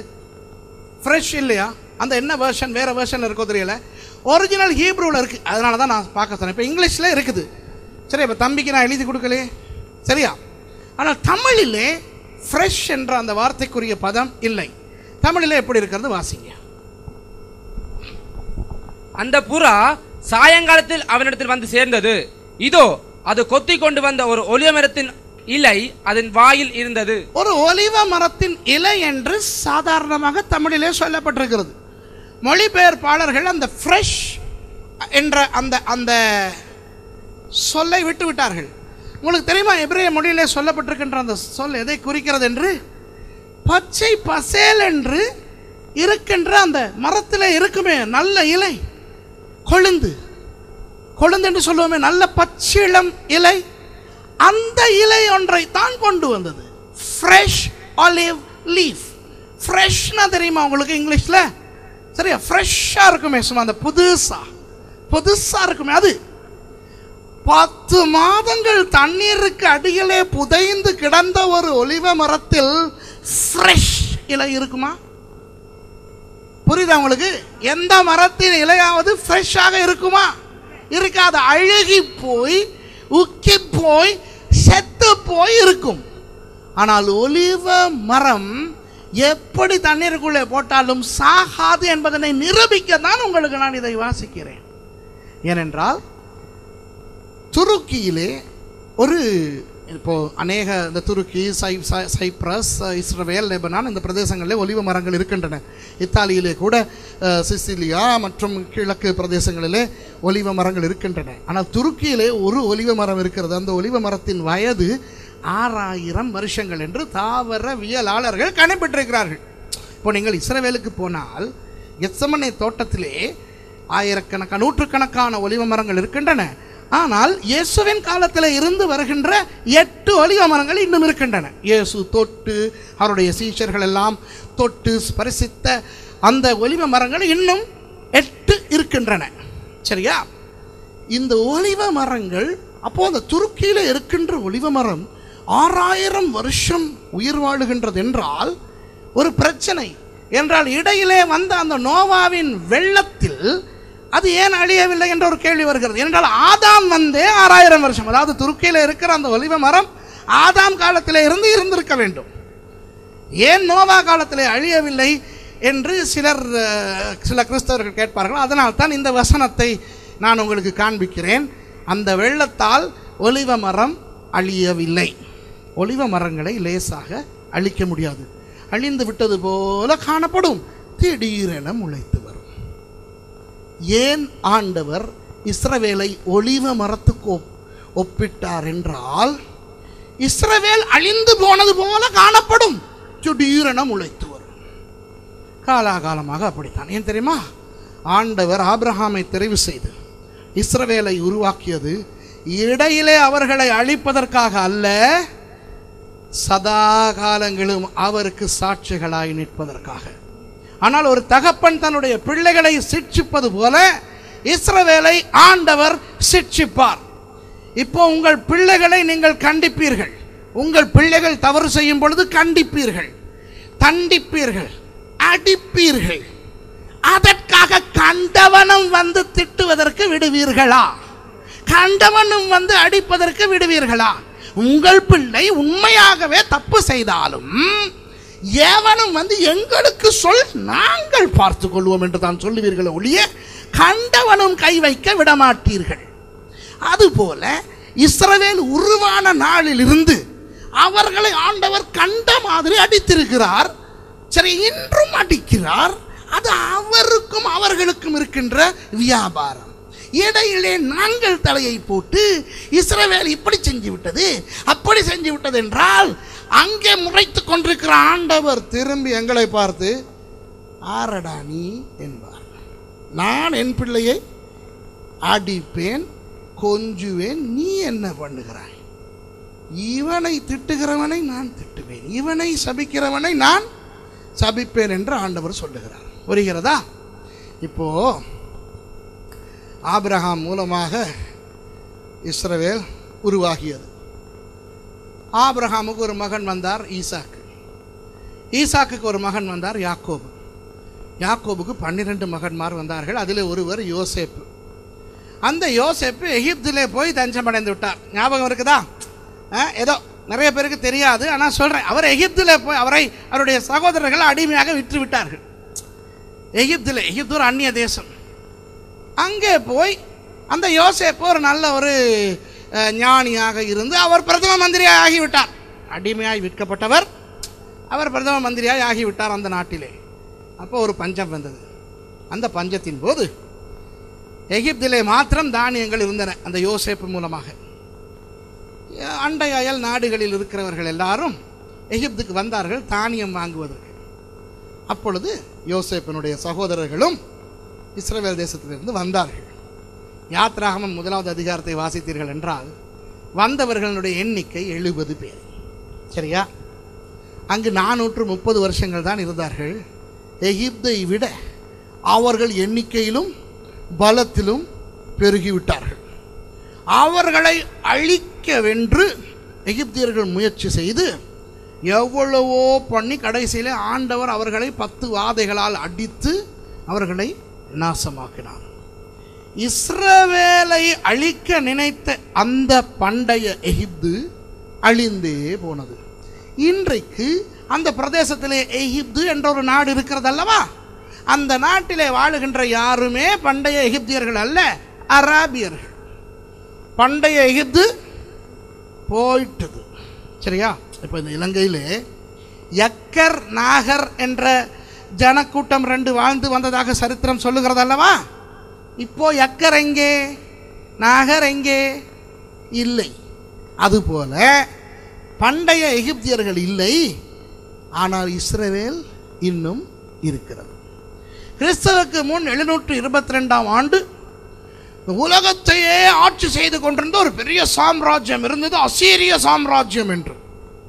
அவர்கள் இஸ்ரவேலின் பத்து கோத்திரங்களை அடித்து அவர்களை இல்லாமலாக்கினார்கள். கிறிஸ்துவுக்கு முன் எழுநூற்று இருபத்தி ரெண்டாம் ஆண்டு காணாமல் போனவர்கள் நல்லா கேட்டுக்கிறங்க. ஆயிரத்தி தொள்ளாயிரத்தி நாற்பத்தி எட்டாம் ஆண்டு மே மாதம் பதினாலாம் தேதி இஸ்ரேவேலருக்குள்ளே வந்து விட்டார்கள் ஹலோ விளங்குதா? எல்லாரும் சில பேருக்கு இது கிரீக் மாதிரி இருக்குது. ஒலிவ மரத்துக்கு வர்றேன் கொஞ்சம் கேட்டுக்கிறேங்க. ஆனால் அவர்களை அழித்து போட்ட அசீரியா சரி அட்ரஸ் இல்லாமல் போய்விட்டது. மிச்சம் இருந்த ரெண்டு கோத்திரங்களாகிய யூதா கோத்திரத்தையும் பெஞ்சமின் கோத்திரத்தையும் கிறிஸ்துவுக்கு முன் ஐநூற்றி எண்பத்தி ஆறாம் ஆண்டில் பாபிலோனியர்கள் வந்து கைப்பற்றி அவர்கள் இஸ்- யூதா தேசத்தை நாசமாக்கினார்கள். இன்று அவர்கள் அட்ரஸே இல்லை. ஆனால் யூதர்கள் இஸ்ரவேலிலே இருக்கிறார்கள். அன்டியோக்கஸ் எப்பிஃபானஸ் என்கின்றவன் கிறிஸ்துவுக்கு முன் நூற்றி அறுபத்தி ஏழாம் ஆண்டு இஸ்ரவேலர்களை அழிக்க வேண்டும் என்று படையெடுத்து வந்து அடித்தான். அவனும் அவனுடைய நாட்டினரும் அட்ரஸ் இல்லாமல் போய்விட்டார்கள். இஸ்ரவேலர்கள் இன்றைக்கும் இருக்கிறார்கள். சரியா? கிறிஸ்துவுக்கு பின் எழுபதாம் ஆண்டு டீட்டஸ் என்பவன் அதாவது வெஸ்பசேனுடைய மகன் வந்து இஸ்ரவேலை அடித்து இல்லாமல் ஆக்கினான் முயற்சித்தான். வெற்றியும் கண்டான். ஆனால் ரோமா ரோம சாம்ராஜ்யம் அழிந்து போனது இஸ்ரவேல் மறுபடி துளிர்த்து விட்டது. ஆயிரத்தி தொள்ளாயிரத்தி முப்பத்தி ஒன்பதிலிருந்து நாற்பத்தி ஐந்து வரை அடால்ஃப் ஹிட்லர் யூதர்களை அழிக்க வேண்டும் என்று அறுபது லட்சம் யூதர்களை அழித்தான். இன்றைக்கு இஸ்ரவேலுக்குள்ளே அறுபது லட்சம் யூதர்கள் வாழுகிறார்கள். ஹிட்லரையும் காணாம் அவனுடைய யாருமே காணாம். எழுபதுகளிலே இடியமின் டாடா உகண்டாவிலே இருந்து அவனும் பாலஸ்தீனர்களுக்கு சார்பாக இஸ்ரவேல் அழிந்து போக வேண்டும் என்று நினைத்தான். இன்றைக்கு இடியாமின் டாடா டாடா. இஸ்ரவேல் இன்றைக்கும் இருக்கிறது. இஸ்ரவேலின் வரைபடத்தையே உலகத்தின் வரைபடத்திலிருந்து அழிக்கப் போகிறேன் என்று ஆயிரத்தி தொள்ளாயிரத்தி எழுபத்தி ஒன்பதாம் ஆண்டு ஈராக்கிய பாத் கட்சியின் தலைவனாய் வந்த சதாம் ஹுசைன் முழங்கினான். இன்றைக்கு சதாம் ஹுசைனுடைய துண்டையும் காணோம் துணியையும் காணோம். இஸ்ரவேல் இருக்கிறது. அன்பானவர்களே இந்த ஒலிவ மரம் எவ்வளவு வெட்டப்பட்டாலும் அது மறுபடி மறுபடி முளைக்கும் என்பதற்காகவே இஸ்ரவேலுக்கு அந்த அடையாளத்தை வைத்திருக்கிறார் அன்பானவர்களே. சரியா? இப்போ ஆயிரத்தி தொள்ளாயிரத்தி நாற்பத்தி எட்டாம் ஆண்டு மே மாதம் பதினான்காம் திகதி இந்த ஒலிவ மரம் மறுபடி துளிர் விட ஆரம்பித்து விட்டதல்லவா? உண்மையான ஒலிவ மரம் துளிர் விட ஆரம்பித்து விட்டதல்லவா? இப்போ ஒரு பிரச்சனை. ஏற்கனவே அந்த மரத்திலே காட்டுவாதுகள் இருக்கின்றன. யார் அந்த காட்டுவாதுகள்? சரிதானே? நாங்கள். இப்போ இனி நாங்களும் அதில் இருக்க முடியாது அவர்களும் இருக்க முடியாது. ரெண்டில் ஒன்று போயாக வேண்டும். சரிதானே? இனி ஒரு தடவை ஆண்டவர் இஸ்ரவேலை வெட்டப் போவது இல்லை. இனி அவர்களுக்கு வெட்டுதல் கிடையாது. இனி ஆண்டவர் வெட்டப்போவது யாரை? எங்களைத்தான் வெட்டப் போகிறார். ஒரு நாள் கத்தியோடு வருகிறார் கர்த்தர். கத்திக்கொண்டே வருகிறான் மீகாவேல் எக்காலத்தை ஊதிக்கொண்டு. என்றவன் வருவான். இயேசு வருகிறார். பரிசுத்த ஆவியானவருக்கு கத்தியை வீசுவார். அதை வாங்குகிற பரிசுத்த ஆவியானவர் சட்டாஸ் என்று நம்மை வெட்டுவார். எதற்கு? மறுபடி நம்மை காட்டிலே வீசுவதற்கல்ல நம்மை பரலோகத்துக்கு கொண்டு போவதற்கு. இதைத்தான் ரப்சர் என்றும் சபை எடுத்துக்கொள்ளப்படுதல் என்றும் சொல்லுகிறோம். நம்புறீங்களா? நம்புறீங்களா? சில பேர் ரப்சர் எல்லாம் வராது அதெல்லாம் பொய்க்காதான்னு நினைக்கிறான். சரி இருந்துட்டு போட்டோம் நீர். வேதத்திலே அந்த சொல் இல்லாவிட்டாலும் தெளிவாக இந்த உபதேசம் இருக்கிறது. இஸ்ரவேல் உண்மையாக ஆயிரத்தி தொள்ளாயிரத்தி நாற்பத்தி எட்டிலிருந்து துளிர் விட ஆரம்பித்து விட்டபடினால் அன்பானவர்களே காட்டு ஒளிவ கிளைகளாகிய நாம் சீக்கிரம் வெட்டப்பட்டு பரலோகத்துக்கு போக போகிறோம். இப்போ நாங்கள் இஸ்ரவேலுக்கு நன்றி உள்ளவர்களாக இருக்க வேண்டும். சரி இப்போ உங்களுக்கு சில விஷயங்களை சொல்லிக் கொடுக்க போகிறேன். இனி கொஞ்சம் இன்ட்ரெஸ்டாக இருக்கும். இந்த சரித்திரம் சத்தியம் அதெல்லாம் விட்டுட்டு எல்லாரும் கவனமாக கேட்டுக்கொள்ளுங்க. முன்பு தானே நாம் காட்டான்கள். இப்போ ஒளிவ மரத்தில் ஒட்ட வைக்கப்படினால் இப்போ ஒட்ட வைக்கப்படினால் ஒட்ட வைக்கப்பட்டபடியினால் இப்போ நாங்களும் ஒளிவ மரம் அல்லவா? அந்த சுபாவம் நமக்கு இருக்க வேண்டும் அல்லவா? சரி தானே சரி இப்போ இப்போ நீங்கள்லாம் வெளிநாட்டுக்கு போனால் நீங்கள் வெள்ளைக்காரங்க இல்லை. ஆனால் வெள்ளைக்காரங்க மாதிரி தானே விளையாட்டு காட்ட பார்க்குறோம். ஆமாவா இல்லையா? ஆ? இப்போ அதான் நான் நேற்றும் சொன்னேன். இல்லையா? சுவிட்சர்லாண்டுக்கு போகிறீங்க ரிஷான் வணக்கம். நல்லா இருக்கீங்களா இல்லை இல்லை. விக்கெட்ஸ் அங்கெல்லாம் சவா. அப்படி தானே ட்ரை பண்ணுறோம் நாங்கள் சரியா? அப்போ அதுபோல் இப்போ ஒளிவ மரங்களாய் வந்து விட்டபடினால் உண்மையாக ஒளிவ மரங்களாய் நாம் வாழ வேண்டும். வாழுவதற்கு முதலாவது ஒளிவ மரம் எப்படிப்பட்ட ஒரு மரம் என்று தெரிந்து கொள்ள வேண்டுமே. இந்த ஒலிவ மரத்தை பற்றி நான் உங்களுக்கு சில விஷயங்களை இன்றைக்கு சொல்லிக் கொடுக்க போகிறேன். இப்போ சங்கீதம் ஐம்பத்தி ரெண்டு எட்டை வாசியுங்கள். சீக்கிரமாக. சங்கீதம் ஐம்பத்தி ரெண்டு எட்டு. நானோ தேவனுடைய ஆலயத்தில் பச்சையான ஒளிய மரத்தை போலிருக்கிறேன். தேவனுடைய கிருபையை என்றென்றைக்கும் நம்பியிருக்கிறேன். ஆ தாவீது சொல்லுகிறார் நான் தேவனுடைய ஆலயத்தில் எப்படி இருக்கிறேன்? பச்சையான ஒளிவ மரமாக பச்சையான ஒளிவ மரமாக இருக்கிறேன்.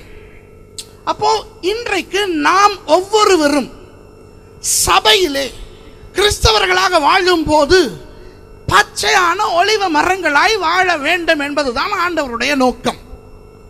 அதனுடைய முதல் தன்மை என்னவென்றால் நான் ஏற்கனவே சொன்னதுபடி நிலைத்து இருக்கின்ற தன்மை. ஒளிவ மரத்தினுடைய முதல் தன்மை என்னவென்று சொன்னேன்? அது தேசில் சாகாது. ஆண்டவராகிய இயேசு நம்மை ரட்சித்த பொழுது என்ன தெரியுமா சொல்லுகிறார்? என்னிடத்துல வருபவனுக்கு மரணமே கிடையாது என்று சொன்னார். மறிப்பான் இந்த உலகத்திலே மறிப்பான் ஆனாலும் மறித்தாலும் பிழைப்பான். என்னப்பா வசனம் சொல்றேன் தெரியலையா உங்களுக்கு? மறித்தாலும் உலக மரணம் நமக்கு வந்தாலும் நம்முடைய ஆத்துமாவை கொலை செய்ய முடியாது. நாம் நித்தியமாய் வாழப் போகிறவர்கள். அப்போ நாம் நிலைத்திருக்க வேண்டும். இப்போ ஒளிவ மரம் வந்து புயலை பார்த்து பயந்து ஓடாது. வெள்ளத்தை பார்த்து பயந்து ஓடாது. பூமி அதிர்ச்சி வந்தால் பயந்து ஓடாது. அது நிலைத்திருக்கும். வாது கலண்டு போனால் என்ன? கிளை கலன்று போனால் என்ன? இலைகள் வெட்டப்பட்டு போனால் என்ன? அது நிற்கும் என்றால் அதுக்கு தெரியும். புயல் போன பிறகு நான் மறுபடி முளைத்து வருவேன். ஆகவே நம்முடைய வாழ்க்கையிலே பணப்பிரச்சனை குடும்ப பிரச்சனை வியாதி இன்னும் எத்தனை பிரச்சனைகள் போன்ற புயல்கள் வந்து நமக்கு இருக்கின்ற எத்தனை விஷயங்களை அழித்து கொண்டு போனாலும் நாம் நிலைத்து விசுவாசத்திலே நின்று நான் மறுபடி எழும்புவேன் நான் மறுபடி துளிர்ப்பேன் நான் மறுபடி தழைப்பேன் என்ற அந்த விசுவாசம் நமக்குள் இருக்க வேண்டும். அதுதான் கர்த்தர் நமக்கு கொடுத்திருக்கிறார். ஆனால் நமக்கு என்ன நடக்கிறது? ஏதாவது ஒன்று இல்லாமல் போய்விட்டால்? ஐயோ இல்லாம போச்சு. ஐயோ இல்லாம போச்சே. ஐயோ ஐயோ ஐயோ இல்லாம போச்சே. ஒரு வேதனை கொஞ்ச நேரத்துக்கு வந்தால் பரவாயில்லை. சரியா? முன்பு இங்கே பாஸ்டர் ஆபேல் என்னுடைய வாகனத்தை எடுத்துக்கொண்டு வருவார். நல்ல அருமையான ஒரு van dual AC. Passenger vehicle ஞாபகம் இருக்குது தானே பாஸ்டர் ஹை ரூஃப் அப்படி. அதை களவெடுத்து விட்டு போய்விட்டான். ஐம்பது லட்சம் ரூபாய். ம்? ஆட்டோ ஓட்டி பைபிள் ஸ்கூல் நடத்தின நான் கொஞ்சம் கொஞ்சமாக பணம் சேர்த்து வாங்கிய அந்த வேனை ஒருவன் திமிங்கலம் போல வந்து விழுங்கி களவெடுத்து கொண்டு போய்விட்டான். எல்லாரும் என்னை அது என்னுடைய தவறால் தான் நடந்தது. எல்லாரும் என்னை பார்க்கும்போது சாவு வீட்டுக்கு வந்தவர்களைப் போல சொல்ல ஆரம்பித்தார்கள். பாஸ்டர் அநியாயம் இல்லையா வேன் வேன் போயிடுச்சு இல்லையா? இவனை பார்த்தா நானும் அழ வேண்டி வரும். நான் மறக்க விரும்புகிறத ஞாபகப்படுத்திக்கிட்டே இருப்போம். எவ்வளவு வலிக்கும்? ஐம்பது லட்சம் ஐம்பது ரூபா காணாமல் போனாலே எவ்வளவு வேதனை. ஐம்பது ஆயிரம் காணாமல் போனால் எவ்வளவு வேதனை. ஐம்பது லட்சம் காணாமல் போயிருச்சு ஐயா. ஆனால் நான் ஒலிவ மரமாக இருக்கிறேன் முன்புதான் காட்டான். அப்போ எனக்கு இப்படி ஒரு புயல் வந்து என் வேன் அடித்து கொண்டு போய் கொஞ்ச நேரம் நான் மொட்டையாய் இருந்தாலும் இனி வாழ்நாள் பூராவும் நான் மொட்டையாய் இருக்க போவதில்லை. ஏனென்றால் நான் ஒளிவ மரம். ஆனால் இரவை தாண்டி வரும்போது என் வண்டியிலும் கூட இந்த சில பனை மரங்களை பார்க்கும்போது பரிதாபமாக இருக்கும். தலையில்லாத பனை மரங்கள் ஏராளமாக இருக்கின்றன. இல்லையா? குண்டு பட்டு தலை இல்லாமல் அதெல்லாம் பார்க்கும்போது நினைப்பேன். இதே இது ஒலிவ மரமாக இருந்தால் கொஞ்ச காலம் அப்படி இருந்து விட்டு வேறொரு பக்கத்தில் என்று இந்த கார்ட்டூன் பார்த்துருக்கீங்களா நீங்கள் கார்ட்டூன் பார்த்துருக்கீங்களா? ஏதாவது ஒரு கார்ட்டூன் நிறைய ஒன்று ஓடி வரும். ஏதாவது ஒரு பெரிய வாகனம் அதை அப்படியே அமுக்கிக்கிட்டு போனோம்னா அது பேப்பர் மாதிரி ஆகிரும். அப்புறம் இப்படி ஒத்தறிட்டு திருப்பி அது நிறைய ஆகிரும். பார்த்துருக்கீங்களா? இது போலத்தான் கிறிஸ்தவன். கிறிஸ்தவன் தான் யார் என்று தெரிந்து கொள்ள வேண்டும் என்றால் பைபிள் வாசிக்க முதல் டொம்மன் ஜெரி பார்க்க வேண்டும். டொம்மன் ஜெரினா ஒரு பூனையும் எலியும். அதில் அந்த பூனையும் எலியும் ரெண்டு பேரும் மாறி மாறி நசுங்குவாங்க. இது அதை நசுக்கும் அது இதை நசுக்கும். ஆனால் என்ன தெரியுமா? ஒரு பைப்புக்குள்ளே போனால் அப்படியே போயிட்டு தலை மட்டும் நிற்கும். முழு உடம்பும் பைப்புக்குள்ளே போயிடும் ஆனால் வெளியே வந்து இப்படி உதறணுன்னா திருப்பி பழைய ஷேப்புக்கு வந்துடுவாங்க அது போல அன்பானவர்களே நாம் கிறிஸ்தவர்கள் இப்படி ஏதாவது ஒன்று நடந்துவிட்டால் கொஞ்சம் நசுங்குப்படும் கொஞ்சம் வலிக்கும். சரியா? நமக்கு ஏதாவது கடன் தொல்லை நமக்கு ஏதாவது வியாதி ஏதாவது பிரச்சனை வந்தால் ஒரு வேதனை எல்லாம் வரும் தான். அதிலேயே இருப்பதற்கு நாம் மாமரம் அல்ல அதிலேயே கிடப்பதற்கு நாம் பலாமரம் அல்ல நாம் அதிலேயே முடங்கி கிடப்பதற்கு நாம் கொய்யா மரம் அல்ல. நாம் ஒலிவ மரங்கள் எழும்புவோம். எழும்புவோம் தழைப்போம் துளிர்ப்போம் திரும்ப வளருவோம். திரும்ப வெட்டு பரவாயில்ல திரும்ப வளருவோம்.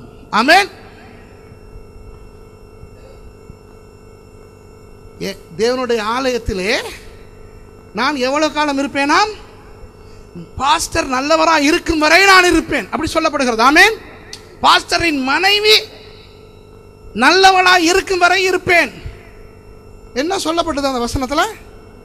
அண்ணா வாசிங்க. நானும் தேவனுடைய ஆலயத்தில் பச்சையான ஒளிய மரத்தை போல் இருக்கிறேன். எவ்வளவு காலத்துக்கு? வாசிங்க எவ்வளவு காலத்துக்கு? தேவனுடைய கிருபையை. என்றென்றைக்கும் நம்பி இருக்கிறேன். என்றென்றைக்கும். அன்பானவர்களே நிலைத்திருக்கிற தன்மை. தேவனுடைய கிருபை என்றால் என்ன தெரியுமா? காட்டான்களாய் இருந்தனா இன்றைக்கு நாட்டான்களாய் மாறி இருக்கிறோமே இதுதான் கிருபை. அந்த தகுதி நமக்கு இருக்கிறதா? நாங்கள் இயேசுவை தேடி ஓடினோமா? அவர் நம்மை தேடி வந்தார். எத்தனை பேர் இங்கிருந்து அமெரிக்காவுக்கு போய் ரட்சிக்கப்பட்டீர்கள்? ரட்சிக்கப்படுவதற்காக அமெரிக்கா போன்றவர்கள் கையை ஆண்டவரை தேடி இங்கிலாந்து போன்றவர்கள் போனவர்கள். பாஸ்ட் ஆபேல் ஆண்டவரை தேடியா நீங்கள் ஜெர்மனி போனீர்கள் அப்புறம் பிரான்ஸ் போனீர்கள்? இல்லை. நீங்கள் ஆண்டவரை தேடி தான் சுவிஸ் போனீங்களா? அவர் அங்கேருந்து சிக்னல் கொடுக்குறாரு நானும் ஃபாரினர் வந்திருக்கிறேன். அப்படி இல்லையா? இல்லை நீங்கள் ஆண்டவரை தேடி சுவிஸ் போனீங்களா? இல்லை. சும்மா போனீங்க. நீங்கள் இங்கே ரசிக்கப்பட்டீங்களா? அங்கே ரசிக்கப்பட்டீங்களா? அங்கே. பார்த்தீர்களா? இங்கே இருந்து அங்கே போனாலும் ஆண்டவர் விடவில்லை. இங்கே இருந்து அங்கே போனாலும் ஆண்டவர் விடவில்லை. சரியா? எங்கு போனாலும் அவர் விரட்டி கொண்டு வந்து சரி அந்த காட்டான் இங்கிருந்து சுவிட்சர்லாந்து போய் கண்டுபிடிக்கப்பட்டார். இந்த காட்டான் இங்கிருந்து ஜெர்மனி போய் பிடிக்கப்பட்டார். இந்த காட்டான் கண்டியிலே வீட்டிலேயே வைத்து பிடிபட்டான். உங்களில் அநேகர் காட்டான்கள் ரோட்டிலே காட்டிலே மேட்டிலே நாட்டிலே எங்க எங்கெங்கெல்லாமோ இருந்து கர்த்தரால் பிடிக்கப்பட்டீர்களே இதற்கு பெயர்தான் கிருபை. அமேன் ஆமென் இன்றைக்கு நாட்டான்களாக இருக்கிறோம். இன்றைக்கு ஆவிக்குரிய இஸ்ரேவேலர்களாக இருக்கிறோம். இஸ்ரேவேலர்களுக்குரிய தன்மை இப்பொழுது எங்களுக்கு வந்து விட்டது பாருங்கள். கிறிஸ்தவர்களையும் கிறிஸ்தவர்களுக்கு ரெண்டாயிரம் தான் வயது. இயேசுவுக்கு பிறகுதானே கிறிஸ்தவர்கள்? இயேசு வந்து ரெண்டாயிரம் வருஷங்கள். என்ற தெய்வமே. ரெண்டாயிரம் வருஷங்களாக. அவன் அவன் இ- கிறிஸ்தவர்களை அழிக்க எவ்வளவு போராடினான் தெரியுமா? நீரோ மன்னன் பச்சை பச்சையாக கிறிஸ்தவர்களை கொலை செய்து இரவு ஒரு கம்பத்திலே இரண்டு இரண்டு கிறிஸ்தவர்களை உயிரோடே கட்டி ஒரு பெரிய மைதானத்திலே அவர்களை உயிரோடே எரித்து அந்த வெளிச்சத்திலே விளையாட்டு நடத்துவான். அப்படியெல்லாம் கிறிஸ்தவர்களை அழித்தார்கள். சரியா? என்றும் கூட கிறிஸ்தவர்களை அழிக்கத்தான் பார்க்கிறார்கள். இந்த இலங்கையிலும் கூட எத்தனையோ இடங்களிலே சபைகளை உடைப்பது சபைகளை எரிப்பது ஐயோ இவர்களெல்லாம் கிறிஸ்தவர்களை அழிக்க பார்க்கிறார்கள். அழிக்க முடியுமா? ஏனென்றால் அந்த இஸ்ரவேலர்களுடைய தன்மை நமக்கு வந்துவிட்டது. இனி நாமும் வெட்ட வெட்ட தழைப்போம். ஏனென்றால் நாம் இப்போ ஆவிக்குரிய இஸ்ரவேலர்கள். ஆமேன். இங்கே மாத்திரமல்ல தமிழ் கிறிஸ்தவர்கள் வேறு வேறு நாடுகளிலே போயும் தழைத்து கொண்டிருக்கிறார்கள். கர்த்தருடைய அந்த கிருபை நம்முடைய வாழ்க்கையில் இருக்கிறது. இதுதான் அந்த கிருபை. அடுத்து இன்னும் ஒரு விஷயம் இன்னொரு வசனத்தை வாசியுங்கள்.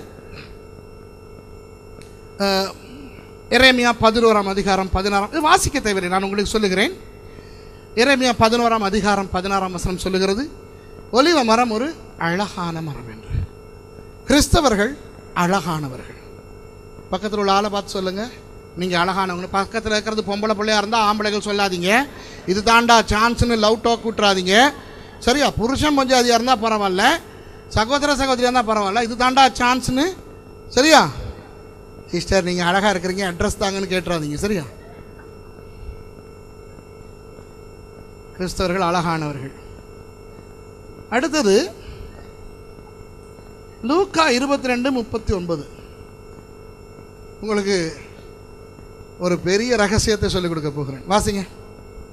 லூக்கா இருபத்தி ரெண்டு முப்பத்தி ஒன்பது வாசிங்க. பின்பு அவர் புறப்பட்டு வழக்கத்தின்படியே ஒலிவ மலைக்கு போனார். இயேசு பின்பு புறப்பட்டு எல்லாரும் சொல்லுங்க. வழக்கத்தின்படியே. சொல்லுங்க.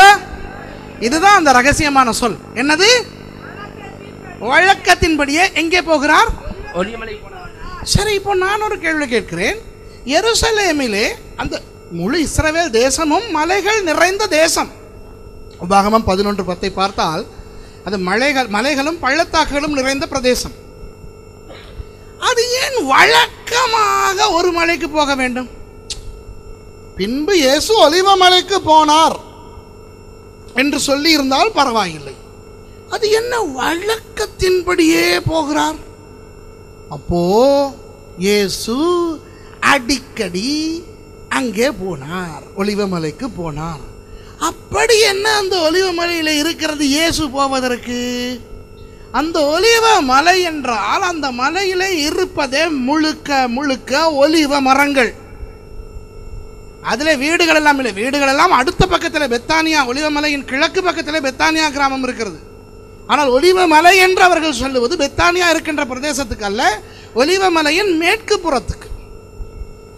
இந்த ஒலிவ மலையின் மேற்கு புறத்திலே ஒலிவ மரங்கள் மட்டும்தான் இருந்தன. சரியாக நடுவிலே ஒரு ஆலை இருந்தது. ஒலிவ எண்ணெய் அறைக்கும் ஆலை இருந்தது. இப்போ உங்களுக்கு ரெண்டு எபிரேய சொற்கள் சொல்லித் தரட்டுமா? தமிழே ஒரு ஒழுங்காக வருதில்லை நமக்கு?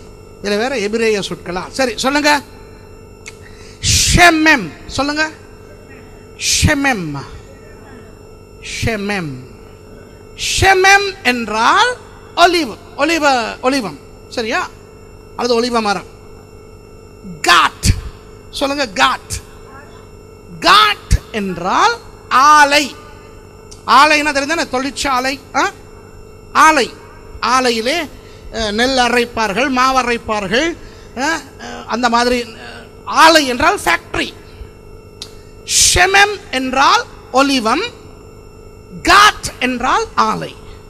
காட் ஷெமெம் என்றால் ஒலிவ காய்களை அல்லது ஒளிவ பழங்களை பழங்களை அரைக்கும் ஆலை. ஒலிவ பழங்களை அரைத்தால் என்ன வரும்? ஒலிவ எண்ணெய் வரும்.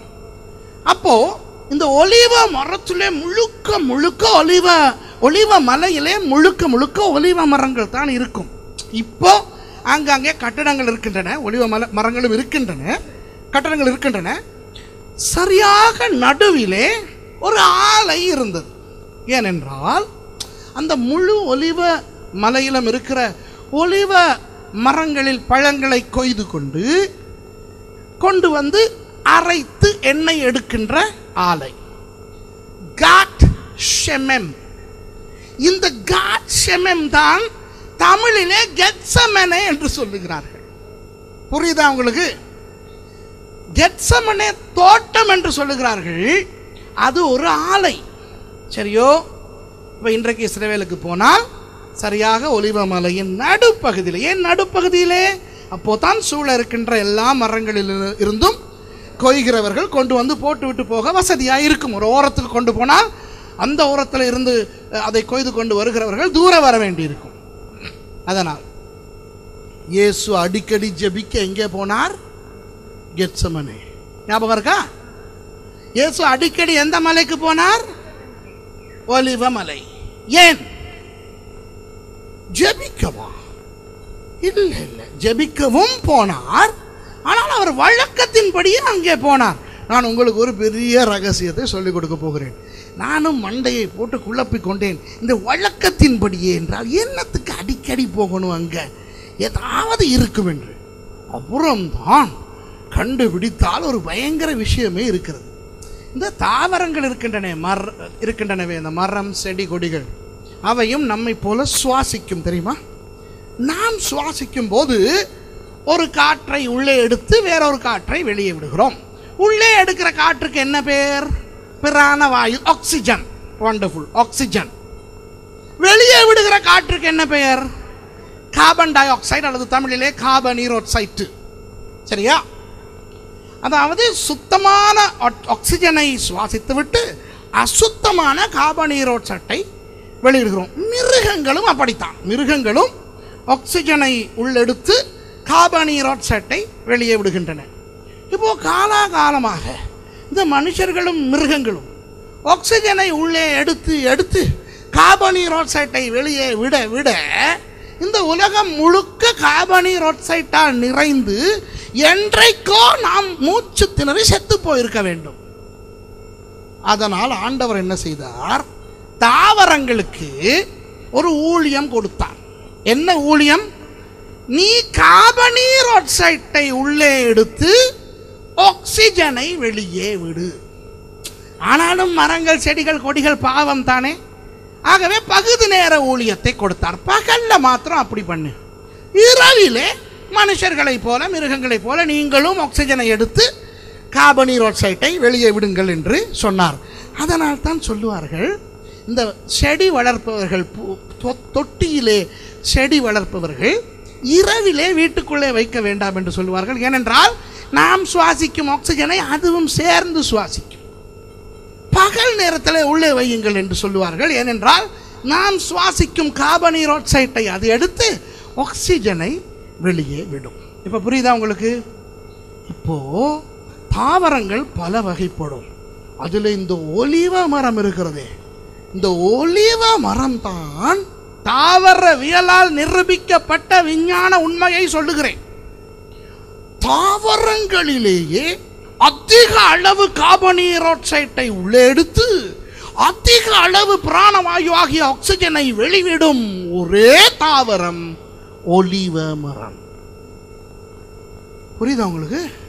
அப்போ அந்த ஒலிவ மரத்தடியிலே போய் கொஞ்ச நேரம் உட்கார்ந்திருந்தால் நல்ல இதமாக இருக்கும் ஆக்சிஜன் அதிகமாக இருக்கும் சுவாசிக்க சுகமாக இருக்கும் களைப்பு சீக்கிரம் தீரும் குளிர்ச்சியாக சூப்பராக இருக்கும்.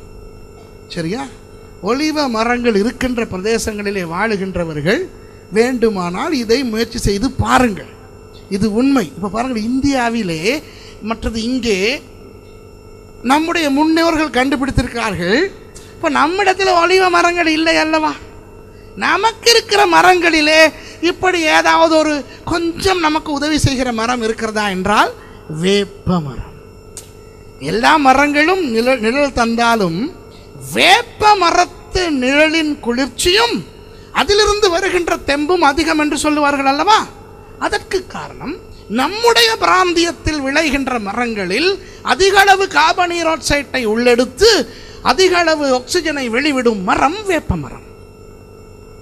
அதுபோல உலகில் காணப்படுகின்ற எல்லா மரங்களிலும் அதிக அளவு கார்பன் ஆக்சைட்டை உள்ளெடுத்து ஆக்சிஜனை வெளிவிடும் மரம் ஒலிவ மரம். புரியுதா? வேப்ப மரத்தை விட ஒரு எண்பது தொண்ணூறு வீதம் அதிகமாக ஆக்சிஜனை வெளிவிடுகின்றபடியினால் ஒளிவ மரத்தடியிலே அமர்ந்து ஓய்வெடுக்கும் பொழுது சீக்கிரத்தில் களைப்பு போய்விடும். சீக்கிரத்தில் தெம்பு வரும் சீக்கிரத்தில் ஒரு இதமான ஒரு ஒரு உணர்வு வரும் அருமையாக ஜெபிக்கவும் முடியும். இப்படி இந்த ஒலிவ மரங்களை படைத்தவர் யார்? அவருடைய பேர் என்ன?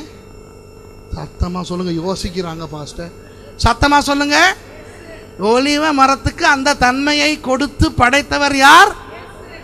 அவருக்கு தெரியும் எந்த மரத்துக்கு போனால் மனுஷ உடம்பில் இருக்கிற அவருக்கு இதமாக இருக்கும் என்று. மற்றவர்களுக்கு இந்த விஞ்ஞான ரகசியத்தை சொன்னால் புரியாதல்லவா? பேதுருவை பார்த்து பேதுருவே உனக்கு ஆக்சிஜன் தெரியுமா? தெரியுமா? அவனுக்கு ஆக்சிஜன் எல்லாம். சரியா? ஆகவே வழக்கத்தின்படியே அவர் ஒளிவ மலைக்கு போனார். இப்போ விளங்குதான் இந்த ரகசியம்? என்றது முன்னுக்கு ஒரு ரெண்டு மூணு பேருக்கு தான்ப்பா சக எல்லாம் என்ன தடவை நினைக்கிறாங்க? ஐயோ பாஸ்டர் இப்படி ஒரு கூட்டத்துக்கு வந்திருக்கிறோம். இயேசு சுகமாக்குகிறார். இயேசு தடவுகிறார். இயேசு கொஞ்சுகிறார். இயேசு முத்தமிடுகிறார். இயேசு தாளாட்டுகிறார்னு ஏதாவது சொல்லுங்களேன்.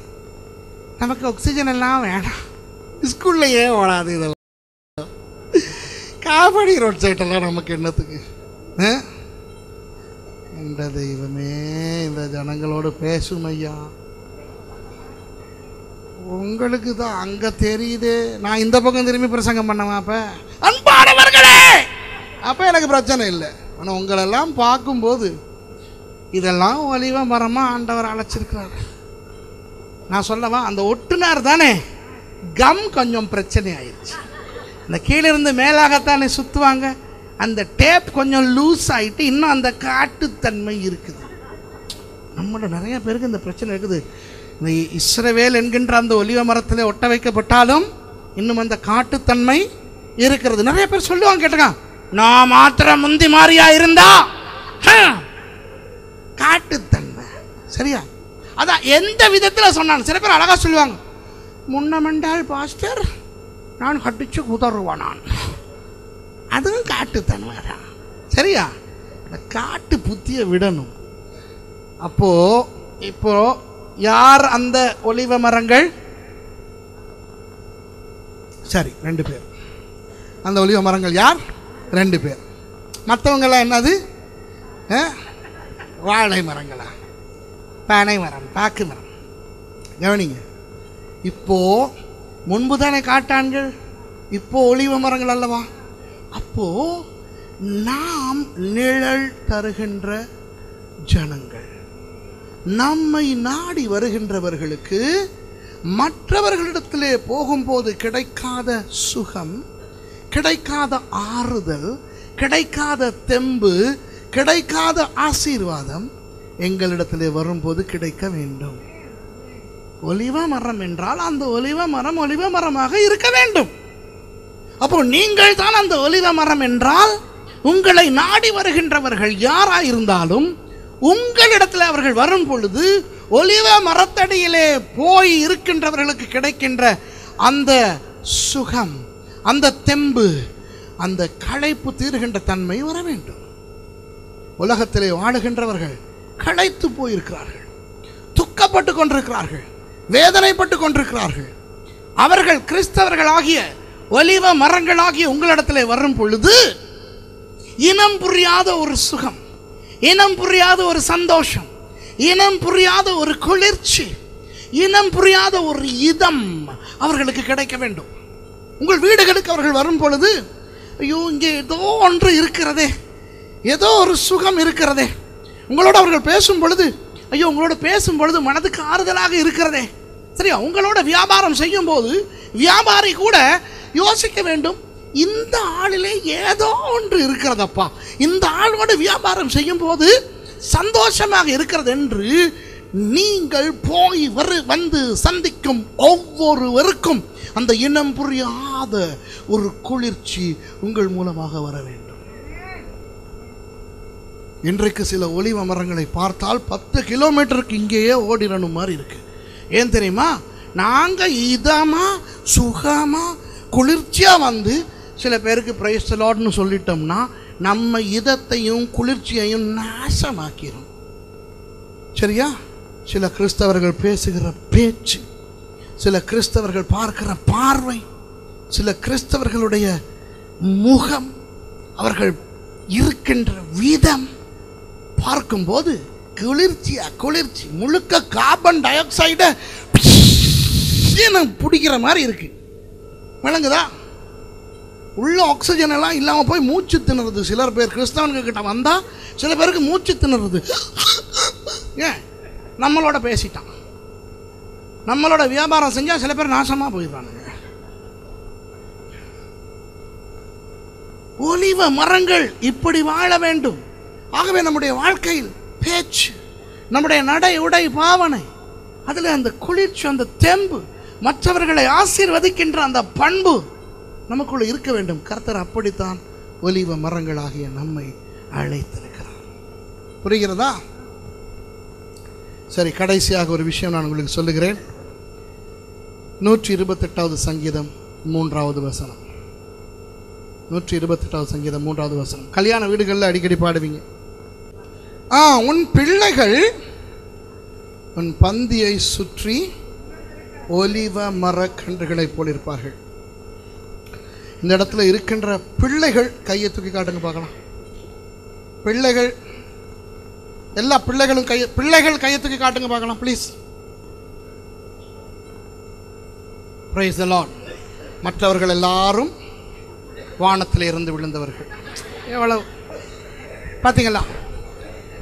வானத்திலிருந்து விழுந்தவர் நான் நான் நினைக்கவே இல்லை. நான் நினச்சிக்கிட்டு இருக்கேன் எல்லாரும் மனுஷர்கள். எல்லாரும் கையை தூக்குனவங்க மாத்திரம்தான் அம்மா அப்பா இருக்கிறவங்க. மற்றவங்க எல்லாம் தாய் தகப்பன் இல்லாமல் வந்தவர்கள்.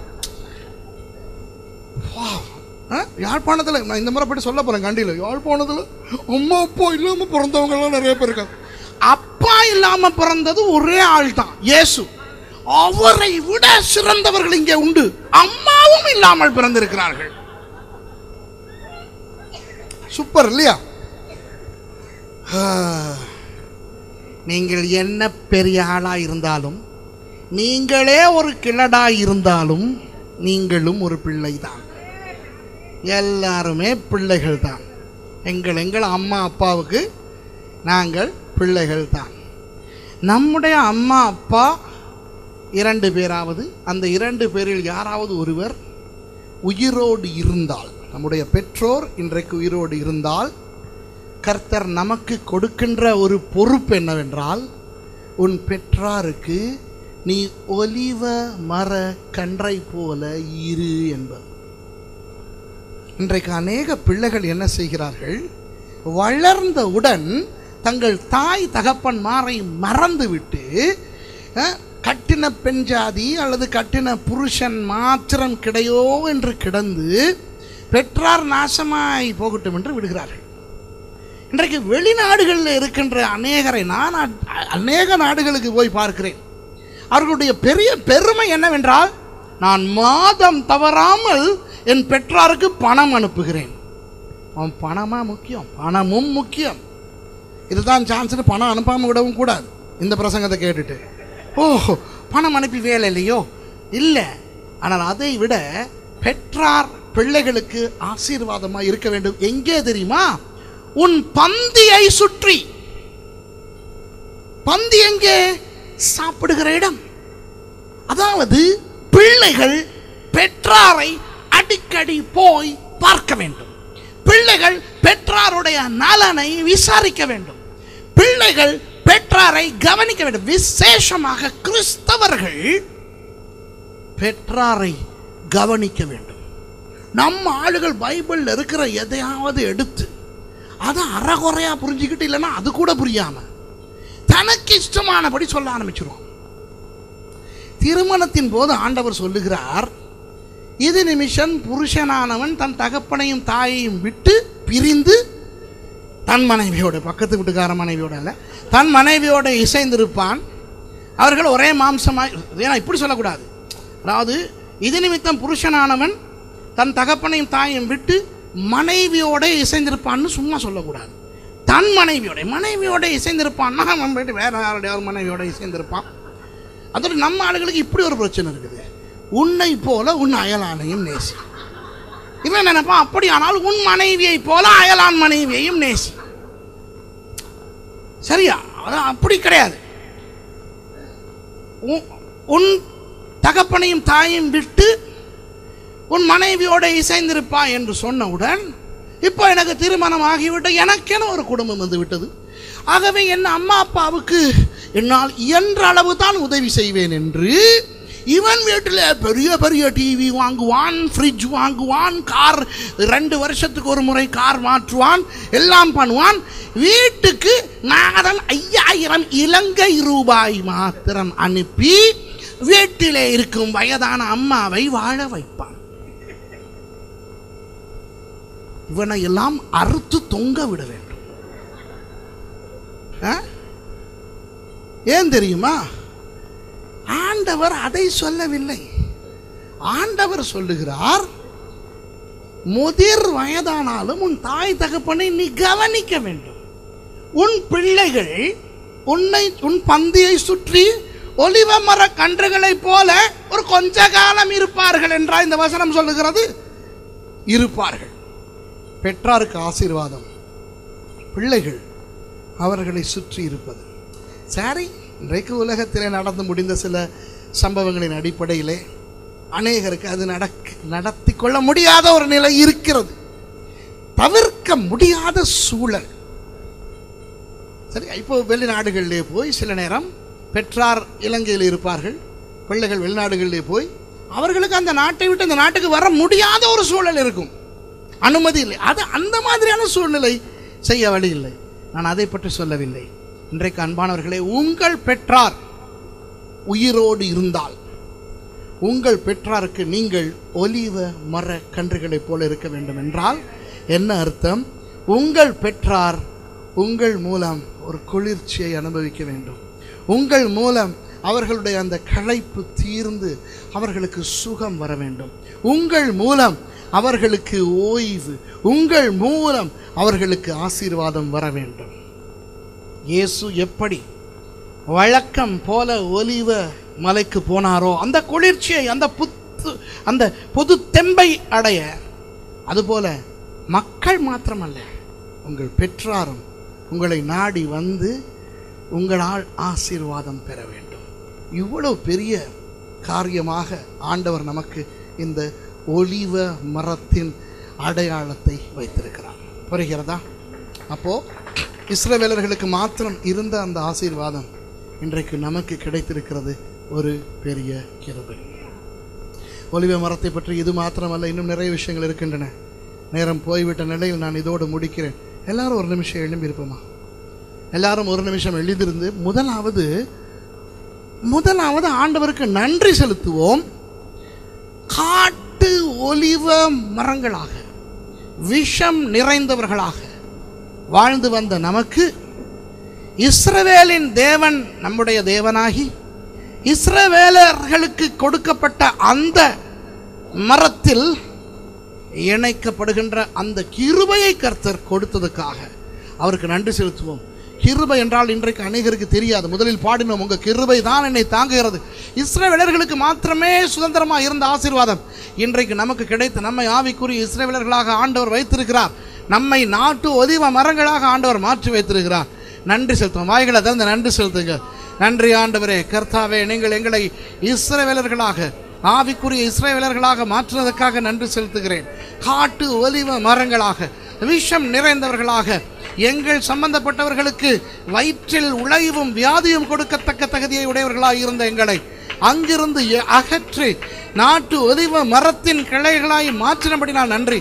இந்த அற்புதம் இந்த கிருபை எங்களுக்கு கிடைக்க செய்து இன்றைக்கு ஆவிக்குரிய இஸ்ரவேலர்களாக ஆவிக்குரிய ஆபிரகாமின் சந்ததியாராக இருக்க கொடுத்த கிருபைக்காக நன்றி. ஆண்டவரை இன்றைக்கு அந்த உண்மையான இஸ்ரேவேல் தேசத்தை அந்த நாட்டு ஒளிவ கிளைகளை ஆசீர்வதிக்கிறோம். அவர்களால் எங்களுக்கு கிடைத்த இந்த ஆசீர்வாதத்துக்காக உங்களுக்கும் அவர்களுக்கும் நன்றி செலுத்துகிறோம் ஆண்டவரே. கர்த்தாவே தேவரீர் செய்த இந்த நன்மைக்காக நன்றி. நன்றி ஆண்டவர் தேவரீருடைய கிருபைக்காக. தேவரீருடைய கிருபைக்காக நன்றி அப்பா. தேங்க்யூ ஜீசஸ் நன்றி ஆண்டவரே. இப்போ சொல்லுவோம். ஆண்டவரே இந்த ஒலிவ மரமாக என்னை மாற்றிவிட்டபடியினால் நிலைத்திருக்கின்ற அந்த தன்மை எனக்கு தாரும் ஆண்டவரே. எனக்கு கொடுத்திருக்கின்ற அந்த நிலைத்திருக்கின்ற தன்மையை நான் உணர்ந்து என்ன புயல் என்ன பிரச்சனை என்ன வேதனை வந்தாலும் அவ்வப்போது நான் மனம் உடைந்து நான் வேதனைப்பட்டு துக்கித்தாலும் நான் திரும்ப திரும்ப தழைத்து செழித்து துளிர்த்து வளருவேன். அந்த விசுவாசத்தை எனக்குள்ளே தாரும் என்று ஒரு நிமிஷம் நாங்கள் ஜெபிப்போம். இந்த நேரத்தில் யாராவது வேதனையோடு துக்கத்தோடு உங்கள் இழப்புகளை நிமித்தம் துக்கத்தோடு இருந்தால் துளிர் விடுகின்ற அந்த தன்மையை கர்த்தர் கொடுத்திருக்கிறபடினால் துளிர் விடுங்கள் நீங்கள் துளிர் விடுங்கள். ஆண்டவரே இந்த இடத்தில் இருக்கின்ற எங்கள் எல்லாரையும் நான் உள்பட எங்கள் எல்லாரையும் உங்கள் பாத்திரம் வைத்து ஜெபிக்கிறேன். கர்த்தாவை எங்களுக்கு நீங்கள் கொடுத்திருக்கிற அந்த தன்மை அந்த இஸ்ரேவேலரை போல ஆண்டவரை எத்தனை கிட்டத்தட்ட இருபது நூற்றாண்டுகள் காணாமல் போயிருந்த அவர்கள் ஒரே நாளில் அவர்கள் திரும்ப முளைத்து வந்தது போல. கர்த்தாவை இந்த இடத்திலே கிறிஸ்தவர்களாக இருக்கின்ற நாங்கள் கர்த்தாவை என்றுமே இந்த அழியாத எங்களுக்கு என்ன பிரச்சனை வந்தாலும் அந்த அழியாத நிலையில் உங்களுக்காக எழுந்து உறுதியாய் நிற்கின்ற அந்த கிருபை எங்களுக்கு தரும்படியாய் நான் ஜெபிக்கிறேன். என்ன இழப்புகள் எங்களுக்கு வந்திருந்தாலும் பணமாக இருக்கட்டும் சுகமாக இருக்கட்டும் சொத்தாக இருக்கட்டும் எதுவாக இருக்கட்டும் கர்த்தாவை அந்த இழப்புகளை பார்த்து அஞ்சாமல் மறுபடி துளிர்விட எங்களுக்கு உதவி செய்யும்படியாய் ஜெபிக்கிறேன். தைரியத்தை எங்களுக்கு கொடுக்கும்படியாய் ஜெபிக்கிறேன். அந்த விசுவாசத்தை எங்களுக்கு கொடுக்கும்படியாய் ஜெபிக்கிறேன். கர்த்தாவே நன்றி அப்பா நன்றி கர்த்தாவே. ஹalleluya ஸ்தோத்திரம் ஆண்டவரே. நன்றி நன்றி நன்றி. Thank you Jesus thank you you Lord நாங்கள் சொல்லுவோம் ஆண்டவரே. அசுத்த காற்றை உள்வாங்கி சுத்த காற்றை வெளிவிட்டு களைப்போடு வியர்வையோடு வேதனையோடு வருகின்றவர்களுக்கு குளிர்ச்சியையும் ஓய்வையும் சந்தோஷத்தையும் உற்சாகத்தையும் கொடுக்கின்ற ஒலிவ மரமாக என்னை அழைத்திருக்கிறபடினால் நன்றி. எனவே இனி என் வார்த்தைகளால் என் பார்வைகளால் என் செயல்களால் நான் யாரையும் காயப்படுத்தாமல் யாரையும் துக்கப்படுத்தாமல் பிறர் என்னை துக்கப்படுத்தினாலும் மற்றவர்களுடைய வேதனையை நான் உள்வாங்கி அவர்களுக்கு நான் ஆசீர்வாதமாய் இருந்து ஒலிவ மரமாய் இருப்பேன் என்று இன்றைக்கு நீங்கள் தீர்மானம் விடுங்கள் வாய்களை திறந்து இந்த ஜெபத்தை நீங்கள் ஜெபியுங்கள் ஆண்டவரிடத்தில். ஆமாம் ஆண்டவரே கர்த்தாவை எங்களுடைய வார்த்தை சிந்தனை நடத்தையிலே. கர்த்தாவை எங்களுடைய பார்வையிலே எங்களுடைய சிரிப்பிலே எங்களுடைய கிண்டலிலே எங்களுடைய நக்கல்களிலே. பிறரை நாங்கள் துக்கப்படுத்தி வேதனைப்படுத்தி இருந்தால் எங்களை மன்னிக்கும்படியாக நான் ஜெபிக்கிறேன் அப்பா.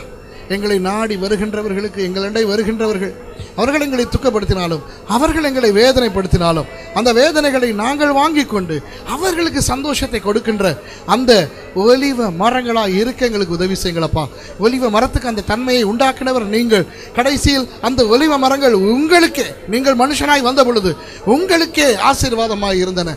அதுபோல அப்பா இன்றைக்கு நாங்களும் மற்றவர்களுக்கு ஆசீர்வாதமாக இருக்க அழைக்கப்பட்டிருக்கிறோம். ஒலிவ மரத்தை போல மற்றவர்களுக்கு நிழல் கொடுக்க மற்றவர்களுக்கு உற்சாகத்தை கொடுக்க மற்றவர்களுடைய களைப்பை தீர்க்க மற்றவர்களை சுத்தப்படுத்த எங்களுக்கு கொடுக்கப்பட்டிருக்கின்ற அந்த பொறுப்பை ஒழுங்காய் செய்ய எங்களுக்கு உதவி செய்யும்படி ஜெபிக்கிறேன்.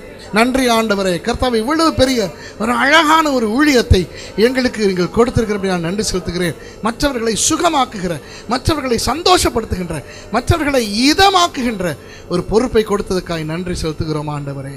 தேங்க்யூ ஜீசஸ் இந்த இடத்துல எல்லாரும் உங்களுடைய பெற்றார் உயிரோடு இருந்தால் யாராவது ஒருவராவது ஒரு அம்மா அப்பாவாவது உயிரோடு இருந்தால் நீங்கள் ஜெபிங்கள். ஆண்டவரே என்னுடைய பெற்றாருக்கு நான் அவர்களுடைய பந்தியை சுற்றி ஒலிவ மரக்கன்றுகளைப் போல ஆசீர்வாதமாக இருப்பேன் நான் எ- மற்றவர்களுக்கு மாத்திரம் ஆசீர்வாதமாக இருந்தால் போதாது. கர்த்தர் இந்த உலகத்திலே எங்களை பிறக்கச் செய்வதற்கு காரணமாக இருந்த பெற்றாருக்கு ஆசீர்வாதமாக இருக்க போகிறோம் என்று தீர்மானிப்போம். வெறும் பணத்தை மாத்திரம் கொடுப்பதல்ல. அவர்களை எந்தெந்த விதத்தில் ஆசீர்வதிக்க முடியுமோ அப்படி ஆசீர்வதிக்கின்ற அந்த அந்த கிருபை கர்த்தர் நமக்கு கொடுக்க வேண்டும் என்று ஜெபிப்போம். எல்லாரும் வாய்களை திறந்து ஜெபிங்க Hallelujah. Rabba shakatala dana bariyandala. Oriandala dana rabba kashandala dana ribi kutura boshana bara bariyandala. ரியந்தல நனமா கத்தரா ஷிக்கத்தர தர bariyandala. ஆமாம் ஆண்டவரே இன்றைக்கு அநேகருக்கு பெற்றார் இருந்தும் அந்த பெற்றாரை பராமரிக்க தெரியாமல் அந்த பெற்றாரை உணர அந்த பெற்றாரினுடைய தேவைகளை உணராமல் சும்மா பணம் மாத்திரம் அனுப்பினால் போதும் என்று இருக்கிறார்கள் கர்த்தாவை நான் ஜெபிக்கிறேன் பெற்றாருக்கு ஆசீர்வாதமாக இருக்கின்ற அந்த பொறுப்பை ஒலிவ மரங்களாக எங்களுக்கு நீங்கள் கொடுத்திருக்கிறபடினால் எங்களுடைய பெற்றாருக்கு நாங்கள் ஆசீர்வாதமாக இருக்க அவர்களை சுற்றி இருக்க அவர்களை அவர்களை சந்தோஷப்படுத்த எங்களுக்கு உதவி செய்யும்படியாக நான் ஜெபிக்கிறேன் ராஜா. நன்றி கர்த்தாவே. தேங்க்யூ ஜீசஸ் இப்பொழுது எல்லாரும் வாய்களை திறந்து ஆண்டவருக்கு நன்றி செலுத்துவோம். எங்களுக்கு ஆண்டவர் கொடுத்த இந்த கிருபைக்காக. தேங்க்யூ ஜீசஸ் நன்றி ஆண்டவர். ஹalleluya தேங்க்யூ ஜீசஸ் ஆண்டவரை இஸ்ரேல் தேசத்தை ஆசீர்வதிக்கிறோம். பிதா குமாரன் பரிசுத்தாவியின் நாமத்திலே இஸ்ராயல் தேசத்தை ஆசீர்வதிக்கிறோம். அந்த ஜனங்களை ஆசீர்வதிக்கிறோம். உங்கள் கிருபையும் உங்கள் கரமும் ஆசீர்வாதமும் எப்பொழுதும் உங்கள் ஜனங்கள் மேல் இருப்பதாக இயேசுவின் நாமத்தில் பிதாவே. ஆமேன். ஆஸ்வாதமாக இந்த கூட்டங்கள் சொல்லுங்க. நம்முடைய கத்தருக்கு நன்றி சொல்லுவோம். கேங்களை தட்டி எங்களை நாங்கள் தேவனுக்கு. இப்படிப்பட்ட பாடங்களை நமக்கு போதிக்கிறதுக்கு தேவன் கொடுத்த ஊழியக்காரன். எல்லாம் நன்றி சொல்லுவோம் மாட்டோம் எல்லாரும். ஆமே எல்லோரும் சொல்லுவோம். என் ஆத்மாவே கத்தரை ஸ்தோத்தரி. என் முழு உள்ளமே அட பஸ்தாமதே ஸ்தோத்தரி. என் ஆத்மாவே கத்தரை ஸ்தோத்தரி. கர்த்தர் செய்த சகல உபகாரங்களையும் மறுவாது. ஆமேன். கத்தரா இயேசு கிறிஸ்து உங்கள் எல்லாரையும் நிறைவாய் ஆசீர்வதிப்பாராக. ஆமே நன்றி சொல்லுவோம். நம்முடைய ஆண்டருக்கு நன்றி சொல்லுவோம். மகப்படுத்துவோம்